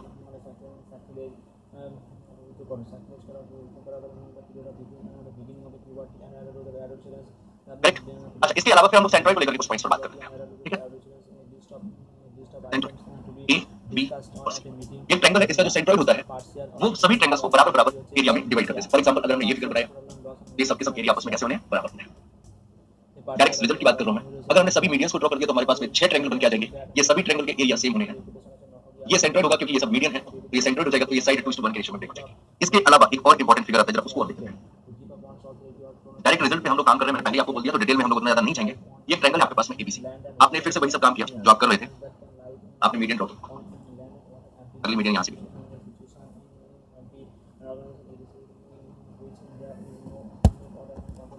ये हो गया आपका सेंटर क्लियर तो अब क्या रहेगा जो मैं बात करने वाला हूँ, वो बात ये करने वाला हूँ, क्योंकि मिड पॉइंट है, ये भी मिड पॉइंट है। इनको हमने नाम दे दिया डीई एफ़ डीई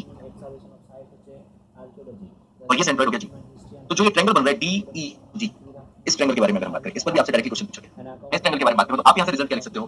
वैसे triangle D is equal to one by twelve one by twelve into triangle ABC मतलब इन दोनों ट्रायंगल का जो एरिया होता है वो one is to twelve ratio में रहता है। ये डायरेक्ट रिज़ल्ट है। डीपली कभी समझना होगा तो समझा दूँगा। अभी से रिज़ल्ट तो ये सारी चीज़ें रहती हैं। उम्मीद करते हैं सब कुछ क्लियर हो गया होगा। ठीक है? क्या था सबको समझ में अब इसके बाद में लास्ट पॉइंट एक चीज़ मैंने हमेशा सिखाई और आपको एक चीज़ और बोलूँगा कि जब भी हम लोग पढ़ाई करेंगे जब ज्योमेट्री प्रैक्टिस करेंगे, सवाल करेंगे तो वहाँ पर ये देखेंगे सवाल में कितना इन्फॉर्मेशन रखा है और कितना काम करना रहेगा। इस तरीके के हम लोग वहाँ पर प्रैक्टिस करेंगे। तो अगर सवाल में कोई इन्फॉर्मेशन नहीं दिया गया, इसका मतलब हम लोग फ्री होते कुछ मान नहीं हम लोग ट्रायंगल को वहाँ पर मोस्ट प्रॉब्ली इक्विलेटरल ट्रायंगल या राइट एंगल ट्रायंगल मानते हैं। तो अगर हम लोग इक्विलेटरल ट्रायंगल मान देते हैं तो इक्विलेटरल ट्रायंगल के बारे में हमारे पास पूरी इन्फॉर्मेशन तो होनी चाहिए तो मानने का मतलब है। तो जरा इक्विलेटरल ट्रायंगल से रिलेटेड बेसिक इन्फॉर्मेशन इन्हें एज अ फार्मूला ट्रीट करना मैं हमेशा बोलता हूँ। हमने इक्विलेटरल ट्रायंगल लिया जिसकी हर एक साइड 6 6 सेंटीमीटर की है। अब हमने एक मीडियन ड्रॉ की इसमें, ये मीडियन एडी तो इसकी जो मीडियन होगी, वो हो जाएगी थ्री रूट थ्री क्योंकि इक्विलेटरल ट्रायंगल में साइड और मीडियन का ratio two ratio root three का होता है। क्लियर ये पूरी मीडियन अभी अपने पास में two ratio sorry three root three की अब हमें पता है कि ये होगा इसका सेंट्रॉइड ये होगा इसका सेंट्रॉइड तो सेंट्रॉइड के ऊपर वाला पार्ट टू और नीचे वाला पार्ट वन में होता है तो इसका मतलब ये वाला पार्ट हो जाएगा टू रूट थ्री और लोअर पार्ट हो जाएगा रूट थ्री बात समझ में आई नहीं क्लियर टू रूट थ्री और रूट थ्री अब पॉइंट क्या है बोले सर जो इक्विलेटरल ट्रायंगल होता है, उनके चारों सेंटर इक्विलेटरल ट्रायंगल के चारों सेंटर एक ही पॉइंट होते हैं। आपका इस सवाल भी एग्ज़ाम में है। कि ऐसा कौन सा त्रिभुज है जिसके चारों केंद्र एक ही जगह पर होते हैं? तो आपका आंसर हो जाएगा वहाँ पर इक्विलेटरल ट्रायंगल अब ये चीज़ यहाँ से क्लियर होगी। अब हमने क्या करना है यहाँ से? अगर मैं छोटा सा प्रैक्टिकल आपको करने कि आप इसको सेंटर लो और ये रेडियस ले लो, ये तक की। और फिर अगर सर्किल ड्रॉ करोगे तो भैया आपकी सर्कम रेडियस हो जाएगी तो सर्कम रेडियस अगर हो गई तो ये आपका सर्किल बन जाएगा। और नो तो ये 2 रूट 3 क्या निकल के आ गया? आपको सर, ये तो हमारी सर्कम रेडियस है यस और नो रेडियस 2 रूट 3 हाँ या ना? आपके एग्ज़ाम का क्वेश्चन बोल रहा हूँ। आपके एग्ज़ाम का क्वेश्चन बोल रहा हूँ कि एग्ज़ाम में आपसे पूछा गया था कि एक समबाहु त्रिभुज की, एक समबाहु त्रिभुज की परित्रिज्या सर्कम रेडियस 6 रूट 3 है, इसका पेरीमीटर बताओ आंसर चौवन। अब अगर आप ये value as a formula treat करोगे तो आंसर चौवन। तुरंत बोलोगे, नहीं तो चार फार्मूला लगाने के बाद निकाल कैसे? बोले, हमारे according circum radius 2 root 3 question के according 6 root 3 1 is equal to 3 के तो साइड 6 बराबर 18 के 18 18 18 चौवन आंसर और जब सारी चीज़ें फार्मूले के तरीके बोल रहा हूँ तो पेरीमीटर भी तो फार्मूले में आ जाएगा ना। इसी तरीके से अगर हमने दूसरा सर्किल ड्रॉ किया, इसे सेंटर माना हमने कहा, अब ये इन सेंटर है और यहाँ से एक सर्किल इस तरीके से ड्रॉ कर। इन सर्किल बन गया जिसकी रेडियस रूट थ्री है तो ये आपकी हो जाएगी इन रेडियस रूट थ्री तो in radius root three circum radius two root three medium three root three side six perimeter eighteen area nine root three ये सारे डाटा आपको वर्बली याद होने चाहिए, एक संभावित त्रिभुज में ये सारी चीज़ें जब भी चीज़ें मानने की बात करेंगे, कौन सी बुक बताई थी? मुझे आइडिया नहीं है। एक बार रिकॉल कराओ तो मैं ज़रूर बता दूँगा। अभी मुझे इस तरीके से आइडिया नहीं है क्या रहेगा। ठीक है? तो ये सब कुछ, जितना कुछ भी था, ये सब कुछ स्ट्रगल कर रहा हूँ। अब इसके बाद में क्लास को मेरा आगे लेने का मन है और मेरा मन था कि मैं आज ज्योमेट्री पूरी कंप्लीट करा के जाऊँ। बट एक चीज़ मैंने सिंपली क्या बताई कि जब भी हम लोग डेडिकेटेड पढ़ाई करते हैं डेडिकेशन के साथ पढ़ाई करते हैं तो वहाँ पर चीज़ें डिस्ट्रैक्ट ना हो ज़्यादा बेटर ठीक है? तो मेरे अकॉर्डिंग मुझे लगता है कि शायद अगर मैं ये सेशन को यहीं पर रोक दूँ कल से आपकी प्रॉपर तरीके से बैच की क्लासेस चलेंगी। बैच में आपको प्रॉपर वे में जितना आपके साथ में टाइम कमिट किया टाइम के साथ में आपको पढ़ाया जाए। सुबह दोपहर में एक बजे आपकी क्लास होगी। उस क्लास के लिए रेडी रहना। प्रॉपर एप्लीकेशन पर क्लास चल रही है ये क्लास में आज आगे कंटिन्यू करना चाहता था, लेकिन नहीं। कहीं ना कहीं सेक्शन थोड़ा सा आता है तो आप चीज़ें समझ सकते हो चीज़ें। तो बेटर है कि जब पेड वाला कोर्स है तो उसको पेड के तरीके की पढ़ाया जाए। यूट्यूब की क्लास एप्लीकेशन पर प्रॉपर होती है। ये आप लोगों की वजह से कि भाई कुछ टाइम के लिए यहाँ पर कर दिया। कौन सा टॉपिक कर पाया जाएगा अनकेडमिक तो बस ये चीज़ें कुछ रहती है, उसके बाद में ज्योमेट्री के बाद। ये वही कुछ चीज़ें रहती हैं कि जब हम लोग पढ़ाई करें तो वहाँ पर कोई क्वेश्चन नहीं होना चाहिए। वहाँ पे क्वेश्चन ये आना चाहिए ये पॉइंट समझ में इसको थोड़ा सा इलाबोरेट इसको इस तरीके से भी कर सकते हैं। ये क्वेश्चन होता है वो पढ़ाई में एक दूसरे को बांधते हैं। बजाय इसके कि तुम यहाँ पर जाओ, मोदी जी पता नहीं कौन सी बातें चल रही है मोदी एंड रिपब्लिक टीवी। अरे, ठीक है, बहुत से चैनल पड़े वहाँ पे ये सब कर लो मैं ये सब चीज़ें नहीं करता है ना? जितना तुम लोग सपोर्ट हो सकता है तुम्हारी कैंपेनिंग में तुम्हारे एग्ज़ाम वो करता हूँ लेकिन प्लीज़ ये सब चीज़ें नहीं अच्छी लगता तो इसलिए इस सेशन को आज मैं यहीं पर रोक रहा हूँ। कल से इस क्रैश कोर्स की सारी क्लासेस दोपहर को 1 बजे से एप्लीकेशन पर रन होंगी। अपने टाइम पर लाइव क्लासेस रहेंगी, जितने भी बच्चे हैं लाइव क्लास अटेंड करेंगे। रिकॉर्डेड भी वीडियो आपको मिल जाएगा, आप जितने बार भी चाहे देख सकते हैं, जो लोग भी ज्वाइन करना चाहे ज्वाइन कर सकते हैं। डिस्क्रिप्शन में लिंक दिया गया है, बाकी अगर कोई भी इन्फॉर्मेशन चाहिए तो डिस्क्रिप्शन में नंबर वगैरह भी दिया गया है। हाँ एसडी यादव हाँ हाँ करेक्ट करेक्ट हाँ, वही बताया, समझ आ गया। वो बिल्कुल सही बोले, बिल्कुल सही ठीक है, आप वो चीज़ देख सकते तो ये चीज़ें रहेंगी और ये जैसा का चैंपियन हमारे का आज वीडियो रिकॉर्ड करके दिया मैंने मैसेज के 10 बार रिकॉर्ड कर चुका हूँ। अपलोड करवा दूँगा। अगर मैं लाइव नहीं ले पा रहा हूँ, YouTube पे तो रिकॉर्ड करवा के तो रिकॉर्ड करवा के दिया और कुछ प्लान के थ्रू क्योंकि कई बच्चों के सजेशन आए थे सर, अगर वीडियो रिकॉर्ड कराएँगे तो कम टाइम में ज़्यादा सवाल सकते हैं हमने ठीक है सब लोग डिस्कस कर लेंगे सब लोग बोल देंगे तो हम डेफिनेटली इस पे काम करेंगे। जब भी बच्चों को रिव्यू आ गया तो हमने छोटी रिकॉर्ड करते हैं। तो वीडियो का रिकॉर्ड चुका अपलोड करवा क्लासेस नहीं रुकने वाली है। मेरे पास में अभी टाइम है पढ़ाने के लिए, और ये 2 महीने तक रहेगा। 2 महीने तक भरपूर जितना पढ़ा सकता हूँ, पढ़ाऊँगा, उसके बाद आगे बस। ओके तो आज के सेशन पे ओवर कर यहाँ पे, और कल एप्लीकेशन में मुलाकात करेंगे इस बैच वाले बच्चों के साथ में और जितने भी लोग सीएचएसएल वाले हैं, उनके लिए लास्ट 15 डेज़ का जो सेशन चलाया जा रहा है, वो सेशन अटेंड करो। आज की क्लास बस टाइम से नहीं पहुँची है, बट रिकॉर्डिंग पड़ी हुई है, मैं आपको रिकॉर्डिंग अभी अपलोड थोड़ी देर बाद में मॉर्निंग अपलोड कर दूँगा आप रिकॉर्डिंग देख सकते हो, बाकी शाम को 6 बजे लाइव क्लास होती है सीएचएसएल वालों की। दोनों वीडियो हैं टॉपर्स पे जाए, चाहे ओके तो आज के सेशन ओवर कर कल मुलाकात करेंगे। ध्यान रखिए बाय बाय टेक केयर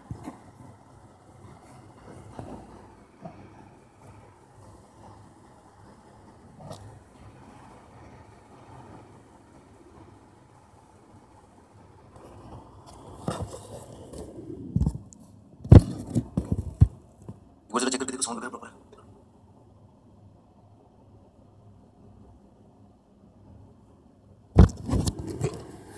प्रणाम भैया, प्रणाम।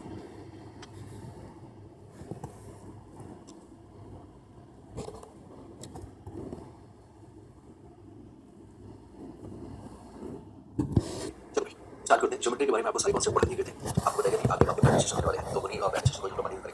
सारे कॉन्सेप्ट आपको रिवाइज करने को मिलेगा जब लास्ट टाइम प्रैक्टिस की वीडियो देखी आपको बताया कि के सारे कॉन्सेप्ट रिवाइज करके बीच में क्लासेस बहुत दिन तक गैप रहा, लगभग शायद आठ दस दिन से आपको क्लास नहीं है। और ये चीज़ हमें पता भी है, और मैं आपको लास्ट टाइम बताया था जब रिकॉर्डिंग बनाई गई, और वीडियो अचानक से क्रैश हुई एक वीडियो आप इवन उसको जो अभी कंटेंट है वो वीडियो देख तो रही है लेकिन वो शायद क्रैश हो से कैसे कंटेंट है वीडियो देख रही है बाकी आप लोगों को, आप लोगों को तो ये रिकॉर्डिंग वीडियो डालने में ये इशू है। मैं ये सोच रहा था रिकॉर्डिंग वीडियो ज़्यादा से ज़्यादा रिकॉर्ड करके आपको प्रोवाइड करता जाऊँ, और आप लोगों को सबसे तैयारी करते जाऊँ लेकिन एक चीज़ हमको ये चीज़ भी है। दूसरी चीज़ ये था कि हम लोगों के साथ में प्रॉपर जो कोलैबोरेशन था हम लोग की बातचीत होती थी, जो हम लोग आपस में एक दूसरे से डिस्कस करते थे, वो सारी चीज़ें भी उस वजह से ग्रुप में भी काफ़ी ज़्यादा चीज़ें खराब हुई। एंड फाइनली मुझे ही थोड़ा सा कुछ चीज़ें ज़्यादा खराब लगने लगी तो मैंने वो ग्रुप हटा दिया। जो भी चीज़ें रहेंगी वो अपने आप यूज़ तो फाइनली पिछले आठ दस दिन में काफ़ी कुछ चेंजेस हुए काफ़ी कुछ चीज़ें बदल गई अब प्रॉब्लम ये भी रहेगी मन में ये भी आया होगा कैसे आगे चीज़ें कंटिन्यू होगी, आगे होगा या नहीं होगा? ये बच्चों मन में ये भी आया होगा कुछ गड़बड़ तो नहीं है। तो आपको हर एक लाइफ इतना ईजी नहीं होती जितना आप कर। सकते हर एक लाइफ में चीज़ें आती रहती हैं तो मुझे आपसे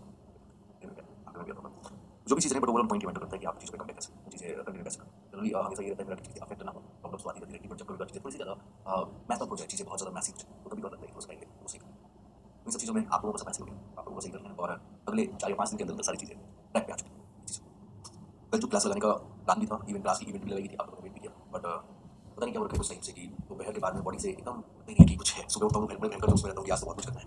दोपहर को आते आते लगभग ढाई तीन बजे के बाद, फिर ऐसा कुछ। यार तो शरीर में जान नहीं है। माहौल है, कोरोना का असर पूरे सब जगह दौड़ रहा है ना? वही सब आप लोग भी सुरक्षित रहो, बहुत ज़्यादा ज़रूरी चीज़ है। चलो भाई स्टार्ट करते हैं हम लोग आज का सेशन आज ज्योमेट्री के क्वेश्चन की प्रैक्टिस करनी है और ये प्रैक्टिस कंटिन्यू चलेगी लगभग छः सात दिन। छः सात दिन में हम लोग पूरी ज्योमेट्री कवर कर चुके हैं। अब तो एक बार इसको समझने की कोशिश करते हैं। सवाल क्या है? आपको रखा है मुझे एबीसी में। इसी पाँच है ए की लंबाई ज्ञात करना है। जहाँ डी की पैरेलल टू बीसी है। एडी बराबर तीन और बीडी बराबर सात, ये आपको रखा है। क्या करना चाहिए? सबसे पहले एक ट्रायंगल बना मैंने आपको पहले बोला था कि ये जो फिगर होता है, ये एसएससी के फेवरेट फिगर्स में से एक है। आप लोगों को दिख रहा है यहाँ तक दिख? रहा है? ये ए हो गया। ये बी है, ये सी है। इसके बाद में ये डी हो जाएगा और ये क्लियर है ए की पैरेलल टू बीसी एसएससी का फेवरेट फिगर है, मैंने आपको पहले से ही समझाया हुआ है सब कुछ अब क्या उन्होंने रखा है कि एसी बराबर एसी बराबर पाँच। ये आपको रखा है पाँच। एसी बराबर दिख रखा है पाँच। आप लोगों को दिख रहा है ना? कोरोना पॉजिटिव कोई बात नहीं, काम करना, अगर किसी को भी ऐसा लगे कोरोना पॉजिटिव मैं इसके ऊपर बात करता हूँ, इस सवाल लगाने के बाद। ठीक है? तो समझे टेंशन लेने की ज़रूरत नहीं है। अभी काफ़ी कुछ होना है, मैं अभी सारी बातें करता हूँ आपको। कोरोना पॉजिटिव तो कोई टेंशन की बात नहीं। मेरे तरीके से आराम से पूछ लो। पीडी बराबर रखे तीन। पीडी बराबर रखे सात। और कुछ बाकी है। देखो, ये की सिमिलर होगा चीज़ हमने सिखाई हुई है ए सिमिलर होगा ए जब ए बी बराबर दस है ए बी बराबर दस है तो ए डी दस और तीन का रेशियो तो ये है तो ए कितना हो जाएगा? वन पॉइंट फाइव ऑप्शन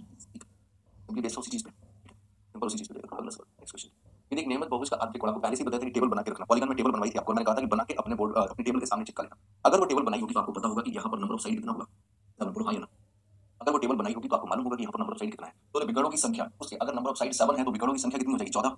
ये भी उसी टेबल का काम है भुजाओं की संख्या मैंने सात, दोनों का योग, इक्कीस।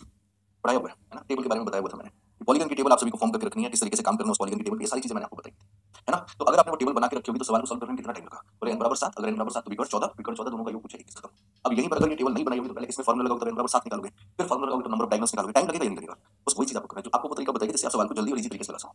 अगला सवाल। तो कुछ कोई एबीसी का परिकेन हुआ और देखो, यही जो टॉपिक होता है ज्योमेट्री हो गया मैंने स्विच किया यही आदमी की बुद्धि खराब करते हैं, यही बच्चों की बुद्धि खराब करते हैं। लड़कों को लगता है पेपर तो सॉल्व नहीं होगा। है ना? ऐसे कैसे नहीं होगा? और सही तरीके से सब सॉल्व होगा। ये समझ रहे देखो तो कुछ एबीसी है, वो परिकेंद्र है।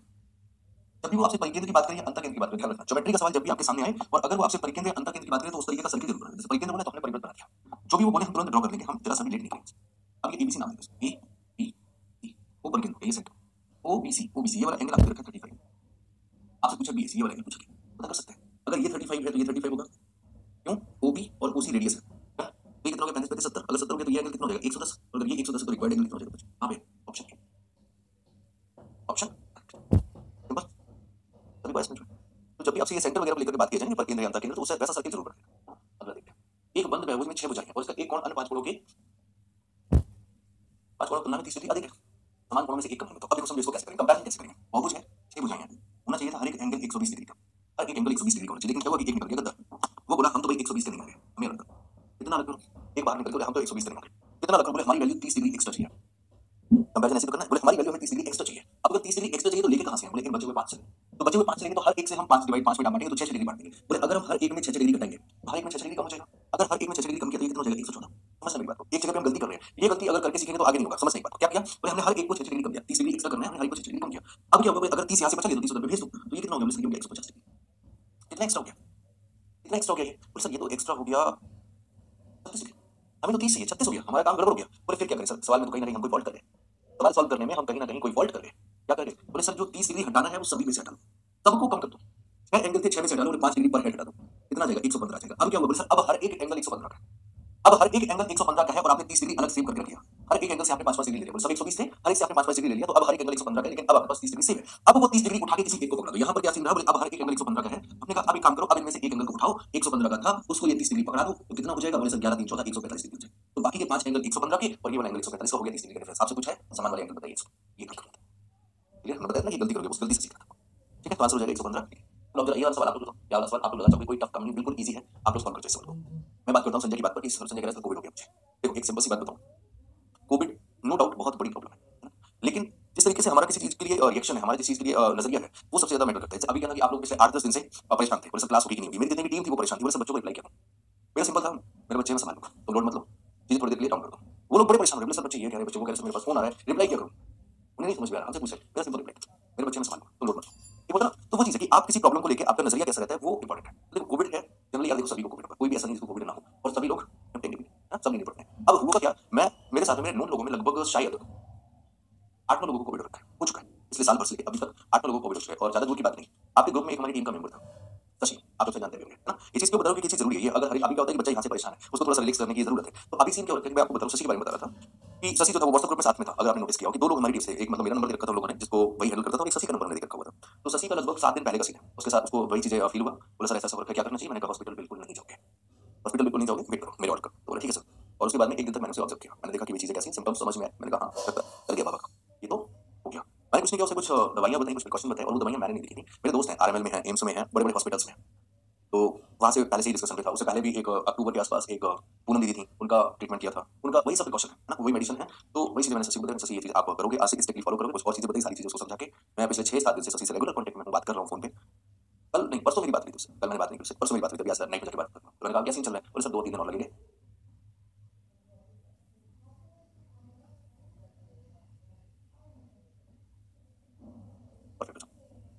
सात आठ लोगों को ट्रीटमेंट कर चुका हूँ लोगों को सबका सीन नहीं है। मेन चीज़ क्या है कि इन सबको मेंटली वीक नहीं होने देना है। ना लोगों को लगता है कोविड हो गया अरे पहली चीज़ मेंटली वीक नहीं होना सिंपली है बोले कोई वायरस है यार इससे पहले भी तो डेथ होती थी दुनिया भर की। अभी क्या हो रखा है? चाहे कोई किसी भी तरीके से मर रहा हो।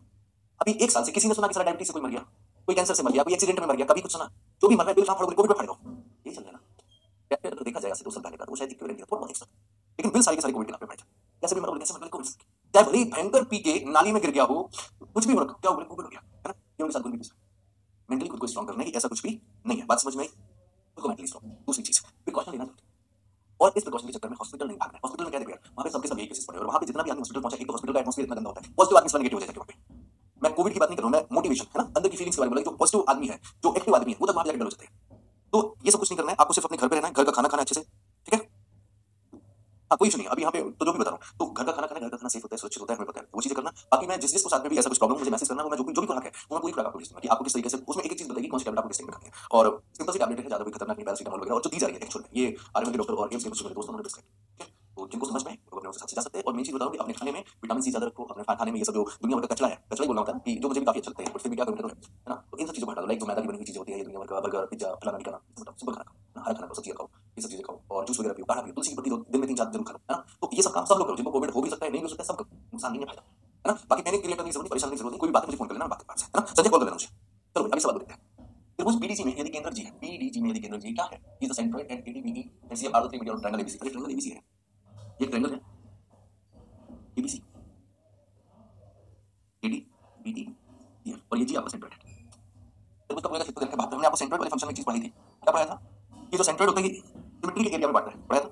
मतलब ये अगर पूरा बहत्तर है, ये अगर पूरा सेवेंटी है, इसका मतलब छह टुकड़े बन गए तो हर एक टुकड़ा का हो जाएगा हर एक टुकड़ा हो जाएगा सबका एरिया बराबर हो जाएगा। आपसे पूछा का एरिया इसका एरिया कितना हो जाएगा? बारह सेंटीमीटर स्क्वायर ऑप्शन अगला सवाल क्या है? एबीसी में एडी माध्यिका माध्यिका तो फिर से वही सब चीज़ रहेगी। AD is 1 by 2 AD equal to 1 by 2 क्या इनकी मंशा है? ये आपको दे रखा है। ट्रायंगल कौन सा है? एबीसी समझने की कोशिश करना। सबसे पहले फिगर बनाना और नहीं। एडी माध्यिका ये लो भी माध्यिका होगी नेक्स्ट पार्ट क्या? बोले AD equal to 1 by 2 BC कोई खुशी बड़ी खुशी की बात है। बड़ी खुशी की बात है। कि AD equal to 1 by 2 BC अब बीसी का आधा है क्योंकि मिड पॉइंट तो हर एक पार्ट बराबर हो जाएगा। अगर ये x ये x तो पूरी 2x तो ये x अब ये सीन किस कंडीशन में आपको सिखाया मैंने? आगे देखो नहीं, हटो बाद में पढ़ेंगे आगे। ये कौन सी कंडीशन ये तो एक ही केस सिखाया ना आपको। सर्कमफेरेंट परिकेंद्र संपूर्ण त्रिभुज का परिकेंद्र है मतलब ये वाला एंगल संपूर्ण त्रिभुज बनेगा, बोलो हाँ या ना और कोई केस ही नहीं है जो माध्यिका इस भुजा की आदि हो। इकलौता केस है संपूर्ण और ये क्या है ये सर्कमफेरेंट है। बात समझ में आई ना सभी को? अब क्या दे रखा है बीएडी ये दे रखा है 30 डिग्री आपसे पूछा एसीबी एसीबी अगर ये 30 दे रखा है तो क्या करना चाहिए? अब आपको सर, अगर ये 30 है तो ये कितना हो जाएगा? सर, ये भी 30 हो जाएगा। आइए ना 30 और 30 ये क्या? नेक्स्ट क्या करना है? सर, अगर ये 30 और 30 है तो ये कितना हो जाएगा? सर, ये बहिष्ठ कोण ये 60 जाएगा। अब अगर ये 60 है तो आपके बोले सर, दोनों भुजाएँ बराबर है, ये भी 60 जाएगा। आप गौर से देख सकते हो 30 60 90 दिखाई पड़ रहे हैं दिखाई पड़ रहे। तो वो तो हमने पहले कैलकुलेट कर लिया था। तो 90 वाले पे अगर कोई डाउट नहीं था तो, तो सवाल वहीं पे खत्म हो गया था। फिर तो हमें इतना सब करना ही नहीं होता। लेकिन 90 वाले पे अगर डाउट नहीं था तो फिर हम क्या करते बोले अगर ये 30 है ये तो 90 वाला हम क्या कैलकुलेट कर चुके थे? कितना होगा 60 और अगर ये 60 तो ये वाला कितना हो जाएगा? 60 किसी भी तरीके से लगाओ टेढ़ा मेढ़ा करके आंसर आपका कितना आएगा 60 ए सी डी आगे स्पीक कोई प्रॉब्लम नहीं है ना? और ये सारी चीज़ें मैंने पढ़ी। आप पूरी ज्योमेट्री लगा जाना एक भी कॉन्सेप्ट ऐसा नहीं रहेगा तो आपको ऐसा लगेगा सर आपको एक संभव इसका आंतरिक कोण से बहिष्ठ कोण के 5 वजह से 26 जाता है। विकर्णों की संख्या ज्ञात करो। तो अब यार यहाँ पर फिर आपके पास में एक मजबूरी बन जा रही है। आप सब चीज़ें थोड़ी सी गड़बड़ है। ना? इतना लंबा रखा है तो अब तो करना पड़ेगा। एक संभव इसका आंतरिक कोण कितना होता है? N minus two into one eighty divided by ये होता है। ये आंतरिक कोण बहिष्ठ कोण क्या होता है? थ्री सिक्सटी डिवाइडेड बाई एक संभव इसका आंतरिक कोण जो है बहिष्ठ कोण के पाँच गुना ये छत्तीस ये कितने किलोमीटर एन का एलसीएम ले लो एन से एन खत्म हो जाएगा। कॉमन काट दो, छत्तीस लिया कॉमन छत्तीस लिया कॉमन दस।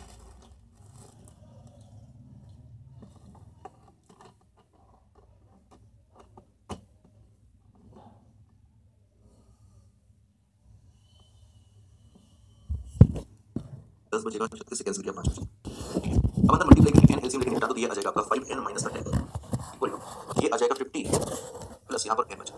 क्या क्या चाहिए ये टेन ले जाओ एन इधर ले तो आप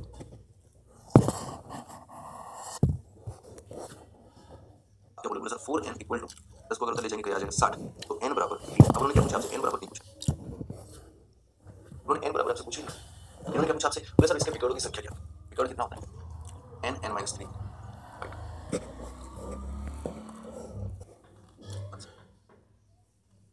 आ गया नब्बे चलो भाई अगला सवाल नेक्स्ट त्रिभुज की दो माध्यिकाएँ ए बी एडी और बीई बिंदु जी पर समकोण पर काट लेंगे समकोण पर काट पॉइंट पकड़ लेते हैं ना समकोण पर काटिए पॉइंट पकड़ लो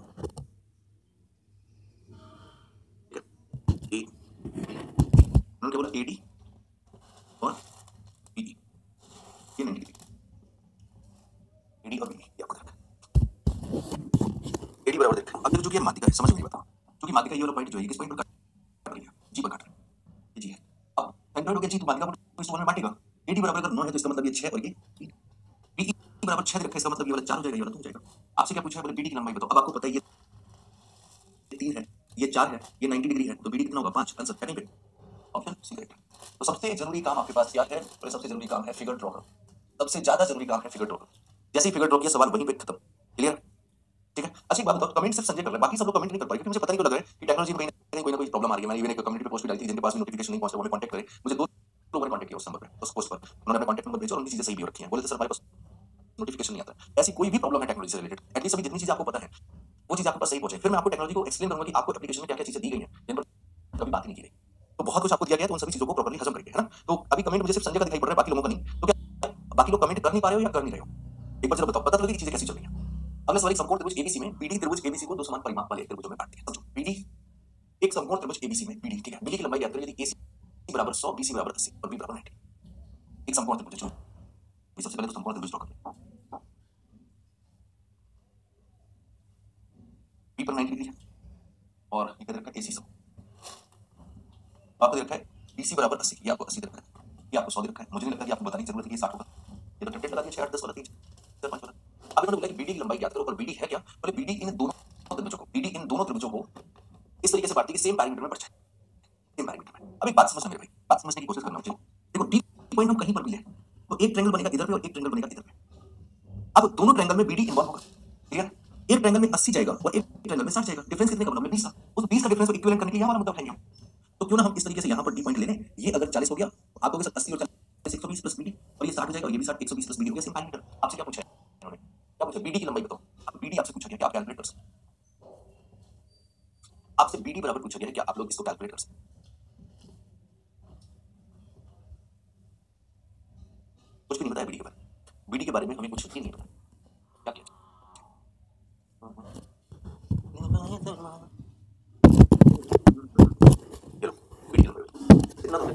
अब बीडी तक कैसे? रास्ता रास्ता है तुम लोगों को पता भी है। इतना समझ लो तुम लोगों को पता भी है। हरकत करना थोड़ा टाइम लेगा ये सवाल। पहले बोल दे रहा हूँ अभी ये सवाल थोड़ा सा टाइम लेगा। है ना? तो, तो क्या करना चाहिए? और कुछ कर नहीं सकते। यार, जब सवाल दिख रहा है तो सवाल में कोई ना कोई तो हरकत करनी पड़ेगी। अब हम यहाँ पे 80 60 100 ट्रिपलेट लगा चुके हैं। ये कोई गारंटी दे नहीं रहा है कि ये 90 डिग्री है या मिड पॉइंट है या क्या है, क्या नहीं है, कोई हमें पता ही नहीं है। क्या करें?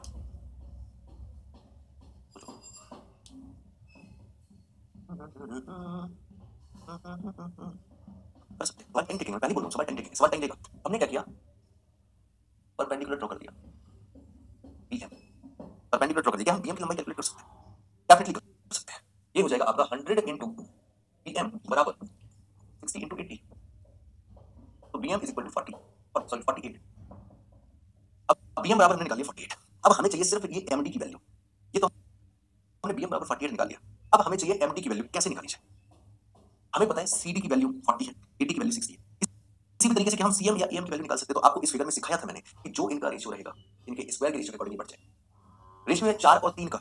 ये जो साइड है, ये सोलह और नौ के रेशियो में बढ़ेगी ये फिगर थोड़ा सा गलत बन रहा है। मैं फिगर को थोड़ा सा सही करूँ, क्योंकि वो अस्सी वाला साठ दिखाई दे रहा है तो वहाँ से फिगर गड़बड़ हो गया मैं ट्रू फिगर जैसी फीलिंग नहीं आ रही, इसलिए हमारे समझ में चीज़ें कम।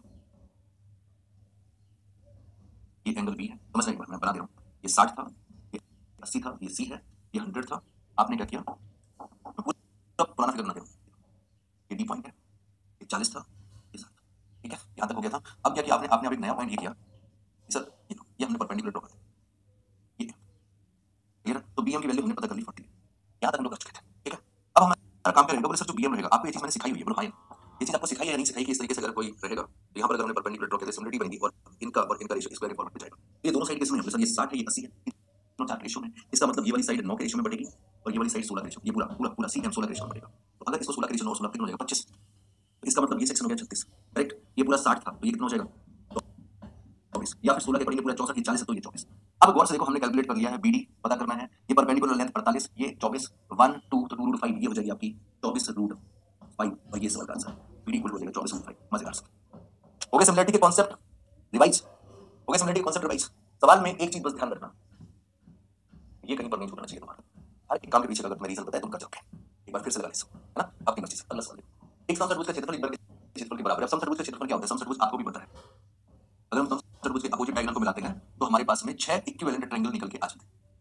यस और नो अब त्रिभुज की अगर भुजा ए है तो diagonal opposite diagonal to A होता है। अगर एक का एरिया समबाहु त्रिभुज है तो इसका मतलब रूट तीन बटे चार इंटू भुजा बन जाएगा। और ऐसे छह मिल गए तो मल्टीप्लाई बाई सिक्स हो जाता है इसका एरिया ये सबसे कुछ बात। आपको बोला गया कि इन दोनों के एरिया बराबर है। तो भाई कर लेते बराबर। तो इस सम त्रिभुज का एरिया हो जाएगा root three by four into six into A square हमने मान ली सम त्रिभुज की भुजा ए है और इनका एरिया बराबर है बी स्क्वायर के मतलब वन का एरिया वन की भुजा हमने मान ली बी तो क्या हम इनकी साइड वगैरह का रेशियो निकाल सकते हैं यहाँ से क्या हम इनकी साइड वगैरह निकाल सकते हैं। कैंसिल कर दिए दो बार जाएगा, ये तीन बार जाएगा। तो फाइनली आ जाएगा यहाँ से A square upon B square is equal to two upon three root three हाँ या अब अगर एरिया का रेशियो ये है तो साइड या परिमाप परिमाप क्या बोले सर वन डी फिगर परिमाप क्या है? बोले वन डी फिगर तो परिमाप का रेशियो क्या हो जाएगा? कोई बताएगा? बोले, अगर सर एरिया का रेशियो ये है तो परिमाप का रेशियो आ जाएगा root two upon root three root three हाँ या ना है कोई ऑप्शन नहीं होगा तो सही कर लेंगे आंसर ये आ जाएगा बात समझ में आई सभी को हाँ या ना कितने लोग एग्री कर रहे हो मेरी बात से मेरी बात से कितने लोग एग्री कर रहे हो जरा मुझे एक बार बताओ तो सब लोगों को थोड़ा सा चिल्ला नहीं बहुत दिन से चिल्ला नहीं है बहुत दिन से क्लास नहीं गुस्सा थोड़ा सा तो करना पड़ेगा बनता है मेरा क्या एरिया का रेशियो से हम परिमाप मतलब टू फिगर के रेशियो से क्या हम वन फिगर के रेशियो पे पहुँच सकते हैं? यस और नो एक बार जल्दी से सब लोग रिप्लाई करते हैं उसके बाद में फिर हम लोग अपनी इस बात को आगे बढ़ाएँ। क्लियर है? एक बार जल्दी से बताओ क्या यहाँ से हम लोग इस तरीके से परिमाप के रेशियो पे पहुँच पा रहे हैं? क्या हमारा आंसर मिल रहा है? कौन सा ऑप्शन मिल रहा है? जरा एक बार बता दो हमें उसके बाद फिर हम लोग आगे बढ़ते हैं। नहीं पहुँच सकते? क्यों नहीं पहुँच सकते? कौन है जो भी है कम करो उसको क्या हम इस तरीके से पहुँच सकते नहीं पहुँच सकते बिल्कुल सही आंसर है क्यों नहीं पहुँच क्योंकि ये सिर्फ़ तब बताई जब सेम फिगर हो। भाई, यहाँ पे सबसेट हो जो यहाँ पे वर्ग है तो रूल्स की बैंड ही बजा दे रहे ये रूल कब सिखाया गया? था जब सर सेम फिगर हो, तब तुम सिखाया गया था। यहाँ पर तो सेम फिगर वाली बात ही नहीं आई। यहाँ पर सबसेट बजा यहाँ पर वर्ग है। तो सर, ये तरीका तो काम नहीं करेगा फिर। अच्छा फिर क्या करना चाहिए? बस सॉल्व कर आराम से। अगर हमें पता है कि इस तरीके से ए अपॉन बी निकाल A square upon B square निकाल रखा है। तो सर, यहाँ से हम ए अपॉन बी भी निकाल लेंगे, कितना हो जाएगा? तो सर ए अपॉन बी आ जाएगा यहाँ से। समझना मेरी बात को? Root two upon root three root three आइए ये निकालिए तो ठीक है। अब अपने मुद्दे पे चलते हैं। मुद्दा था हमारा कि सम त्रिभुज और वर्ग के परिमाप करिए सम त्रिभुज का परिमाप कितना हो जाएगा? सर, हमसे पूछा गया six A upon four B की वैल्यू तो है हो गया three by two into A upon B की वैल्यू हम निकाल चुके हैं। रूट थ्री या फिर इसको अगर हम लिखना चाहें, ये क्या लिख सकते पावर वन बाई टू है। समझना मेरा तो power one by two three by two power three by four three to the power three by four clear है? अब अगर हम इसको कैंसिल आउट करेंगे तो ये आ जाएगा थ्री की power one by four upon root two ये रेशियो आएगा थ्री की power one by four upon root two यहाँ पर तो सब खतरनाक खतरनाक ऑप्शन देख रखे हैं। कुछ कैंसिल आउट होने वाले भी देख रखे फाइनली सॉल्व वैल्यू तो ये आएगी पैरामीटर की। जो भी रेशियो है, जो भी आंसर हमारा वही आएगा। अब हमें यहाँ पे सिंप्लीफाई और करना रहेगा सिंप्लीफाई और करना रहेगा। ऑप्शन ये आपका सॉल्यूशन इंडाइसिस का पार्ट है। ये क्या हो जाएगा? सर, ये हो जाएगा। अगर मैं इसको सही कर लिखूं यहाँ पर, ये आ जाएगा root two into root three into three to the power one by four upon root root का तो तो तो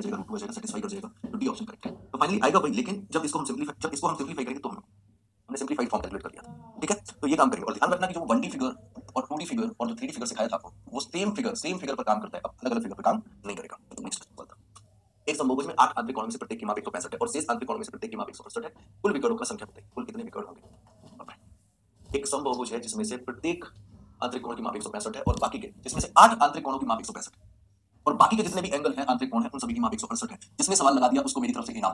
सवाल लगाने का रास्ता बता दो। कोई भी है, सवाल लगाने का रास्ता बता दो, मेरी तरफ़ से इनाम।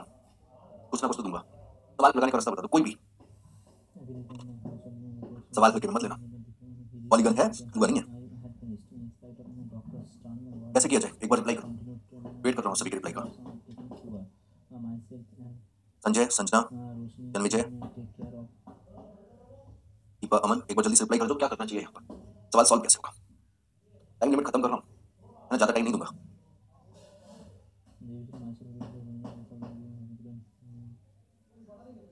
तो रेगुलर रेगुलर पॉलीगन नहीं होगा। बिल्कुल नहीं होगा। रेगुलर पॉलीगन के एंगल तो सेम होते हैं। उन्होंने साफ़ साफ़ बोला अलग अलग एंगल है। साथ नहीं रेगुलर पॉलीगन होने ये तो बच्चों वाली सवाल है। ये क्या पूछना होगा? ये रेगुलर पॉलीगन तो है नहीं।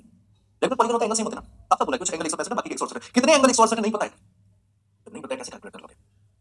टाटा, कुछ ना कुछ तो कम लग रहा है। ना बोलो हाँ कोई तो बताए। नहीं आ रहा समझ में। तो फिर हम कुछ रास्ता बताते हैं। आपको हमें पता है इंटीरियर एंगल कितना होगा? नहीं पता। लेकिन एक्सटीरियर एंगल का सम 360 डिग्री ही होगा। ये नहीं बदल सकता। ये चीज़ आपको बताई थी एक्सटीरियर एंगल का सम 360 से ज़्यादा कभी हो ही नहीं ना कम ना ज़्यादा चाहे कोई भी पॉलीगन अब अगर ये आठ एंगल 165 है इंटीरियर एंगल अगर 165 है तो एक्सटीरियर बोले सम पर होता है इसका मतलब इसका एक्सटीरियर 15 और इस 15 जैसे आठ हैं तो 15 अट्ठे 120 इन सब का सम हो गया 120 आठ एंगल ये रहे और इन आठ एक्सटीरियर एंगल का सम हो गया 120 डन अब क्या होगा? बोले बाकी के सब है 168 अगर एंगल है तो एक्सटीरियर एंगल आ जाएगा 12 और हमें सम 360 पहुँचना है तो इसका मतलब 240 होना चाहिए इन सभी का सम कब होगा जब ऐसे 20 एंगल तो 8 एंगल 165 के 20 एंगल 168 के टोटल इंटीरियर एंगल कितने हो गए? 28 टोटल इंटीरियर एंगल 28 हो गए तो जितने नंबर ऑफ़ इंटीरियर एंगल होंगे, उतने ही नंबर ऑफ़ साइड होगी। तो नंबर ऑफ़ साइड कितनी होगी? बोले नंबर ऑफ़ साइड होगी 28 अगर नंबर ऑफ़ साइड 28 है तो डायगोनल कितने हो जाएँगे? सर 28 गुणे 25 बटे 2 25 गुणे 14 ये कितना हो जाएगा? 350 आंसर ये समझ कब तक कोई ऑप्शन ए करेक्ट है। पॉइंट बताया है आपको या नहीं? ये बात बताओ। एक्सटीरियर एंगल का सम 360 ही होता है। बताया है ना? ये भी बताया कि इंटीरियर और एक्सटीरियर दोनों का सम 180 होता है। लेकिन उस पॉइंट को यूज़ कैसे करना है, ये तुम्हें सीखना क्या हमने दिया है? यूज़ करना थोड़ा बहुत सिखाएँगे। बाकी का यूज़ आप करोगे अपनी प्रैक्टिस बात समझ में अच्छा सवाल था स्टार्ट करना इस पे मज़ेदार सवाल था। अगला सवाल। दो संभव की भुजाओं की संख्या का पाँच, चार और पाँच है। ये सवाल अगर टेबल दिमाग में होगी तो बरबली तोड़ के जाओगे भुजाओं की संख्या का पाँच चार, पाँच है, चार, पाँच चार पाँच चार पाँच चार, पाँच। सभी की चार, पाँच पूछ। रहे इनके इंटीरियर एंगल का रेशियो पच्चीस सौ छब्बीस है। पच्चीस सौ छब्बीस इसका इंटीरियर एंगल तो कितना होता है? एक सौ पैंतीस। दूर दूर तक पच्चीस नहीं दिखाई पड़ रहा है हमें तो। तुम्हें एक सौ पैंतीस में कहीं से भी पच्चीस दिखा। हमें तो नहीं दिखा। यस और तो ये तो खत्म हो गया। चलो भाई छुट्टी तुम्हारी। अब क्या किया जाए सर इसको पकड़ के देखें क्या अगर ये है भुजाएँ अगर बारह है तो इंटीरियर एंगल डेढ़ सौ हो जाएगा बोलो हाँ ना तो सर पच्चीस दिख रहा है पच्चीस दिख रहा है बहुत अच्छी बात है ये कितना हो जाएगा बोले सर जाएगा एक सौ छप्पन इससे डिवाइड करो सर अगर हम डिवाइड करते हैं इसको छह से डिवाइड करें तो पच्चीस डेढ़ सौ छह से डिवाइड किया तो छह दूनी बारह और छह छत्तीस पच्चीस और पंद्रह तक तो टेबल बनाने के बोला था सबसे तो तुम्हें इनके बारे पता भी होते हैं हो आपसे तो अगर वैल्यूज़ पता होंगी तो तो हो क्लियर आगे बढ़िए अगला है फिगर बना देना देखो एबीसी है ए बी फिगर चलो भाई बाकी की बातें बाद में करेंगे पहले फिगर चाहिए बिंदु डी भुजा बीसी पर एक बिंदु इस प्रकार है कि ओडी परपेंडिकुलर दिस चलो भाई ये तो कुछ और ही चाह रही ये तो कुछ और ही मांग रही तुम सोच भी नहीं सकते कि इनकी मन सकते पर एक मज़ेदार बात आपको बताऊँ पंद्रह तारीख के पंद्रह अप्रैल आप कहते हैं सर आप क्वेश्चन ऐसे कैसे करेक्ट करते हो पंद्रह अप्रैल का सेकंड शिफ्ट क्वेश्चन देखना सेम लैंग्वेज यूज़ किया इस सवाल की बात करूँ अभी चार पाँच दिन पहले जो पेपर हुआ ना आपका ये सीट तो बना चुका था जाने कितने दिन पहले? राइट है ना? चार पाँच दिन पहले जो पंद्रह अप्रैल को पेपर हुआ सेकंड शिफ्ट की बात कर रहा हूँ सेम तरीके से सवाल बिल्कुल सेम लैंग्वेज थी। डाटा बस थोड़ा सा चेंज था ये एंगल के नाम अलग हो सकते हैं बाकी सब सेम था। क्या बोला कि एक ट्रायंगल है? एबीसी वो इसका अंतर केंद्र ये वो हो गया। फिर क्या बोला कि डी बिंदु डी मुझे इस प्रकार की OD perpendicular OD perpendicular BC अब क्या देखा बोले बी ओडी बी ओडी ये वाला आपको देखा पंद्रह। आपसे पूछा ट्रायंगल ए बी सी की वैल्यू ए बी सी ये वाला एंगल पूछा।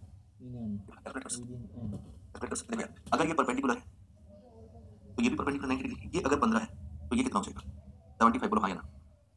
और अगर ये आपका अंता केंद्र है वो अंता केंद्र है फॉर्मेशन सिखाया था आप सभी को फॉर्मेशन याद है सबको या नहीं? कि कौन सा सेंटर कैसे बनता है? बताओ इन सेंटर कैसे बनता है?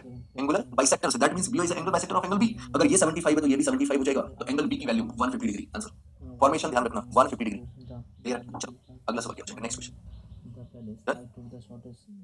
A B C D E एक समपंचभुज है। समपंचभुज रेगुलर पेंटागन है बढ़िया बात है। वो इसके अंदर एक बिंदु इस प्रकार है कि ए ओ बी एक समबाहु त्रिभुज है ठीक बात है। ओ ई ए का मान आप सकते हैं रेगुलर पेंटागन बनाते हैं। ये एक रेगुलर पेंटागन है। ए बी सी डी ई आपसे कहा गया इसके अंदर एक बिंदु ऐसा है कि ए ओ बी एक समबाहु त्रिभुज है ये पूरा। एक मतलब ये 60 डिग्री। ये 60 डिग्री। और ये 60 डिग्री अब आपसे पूछा ओ ई ए अब आपसे पूछा गया है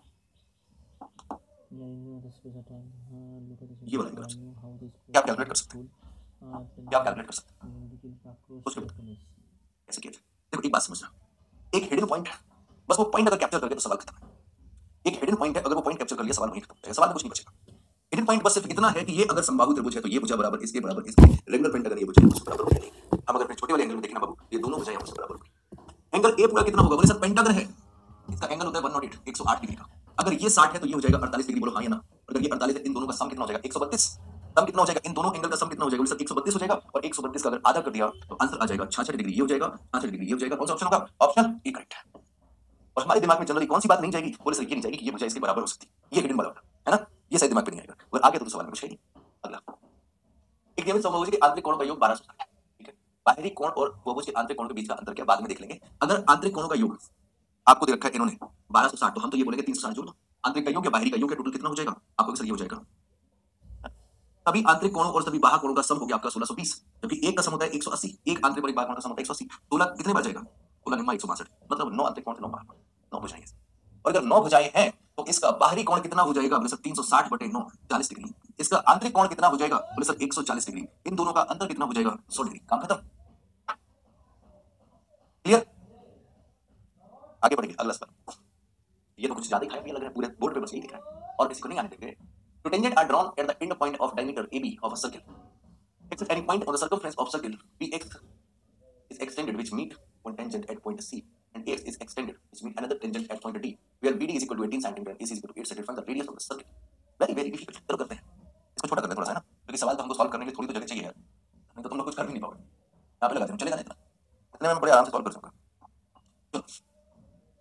ये एक सर्किल है।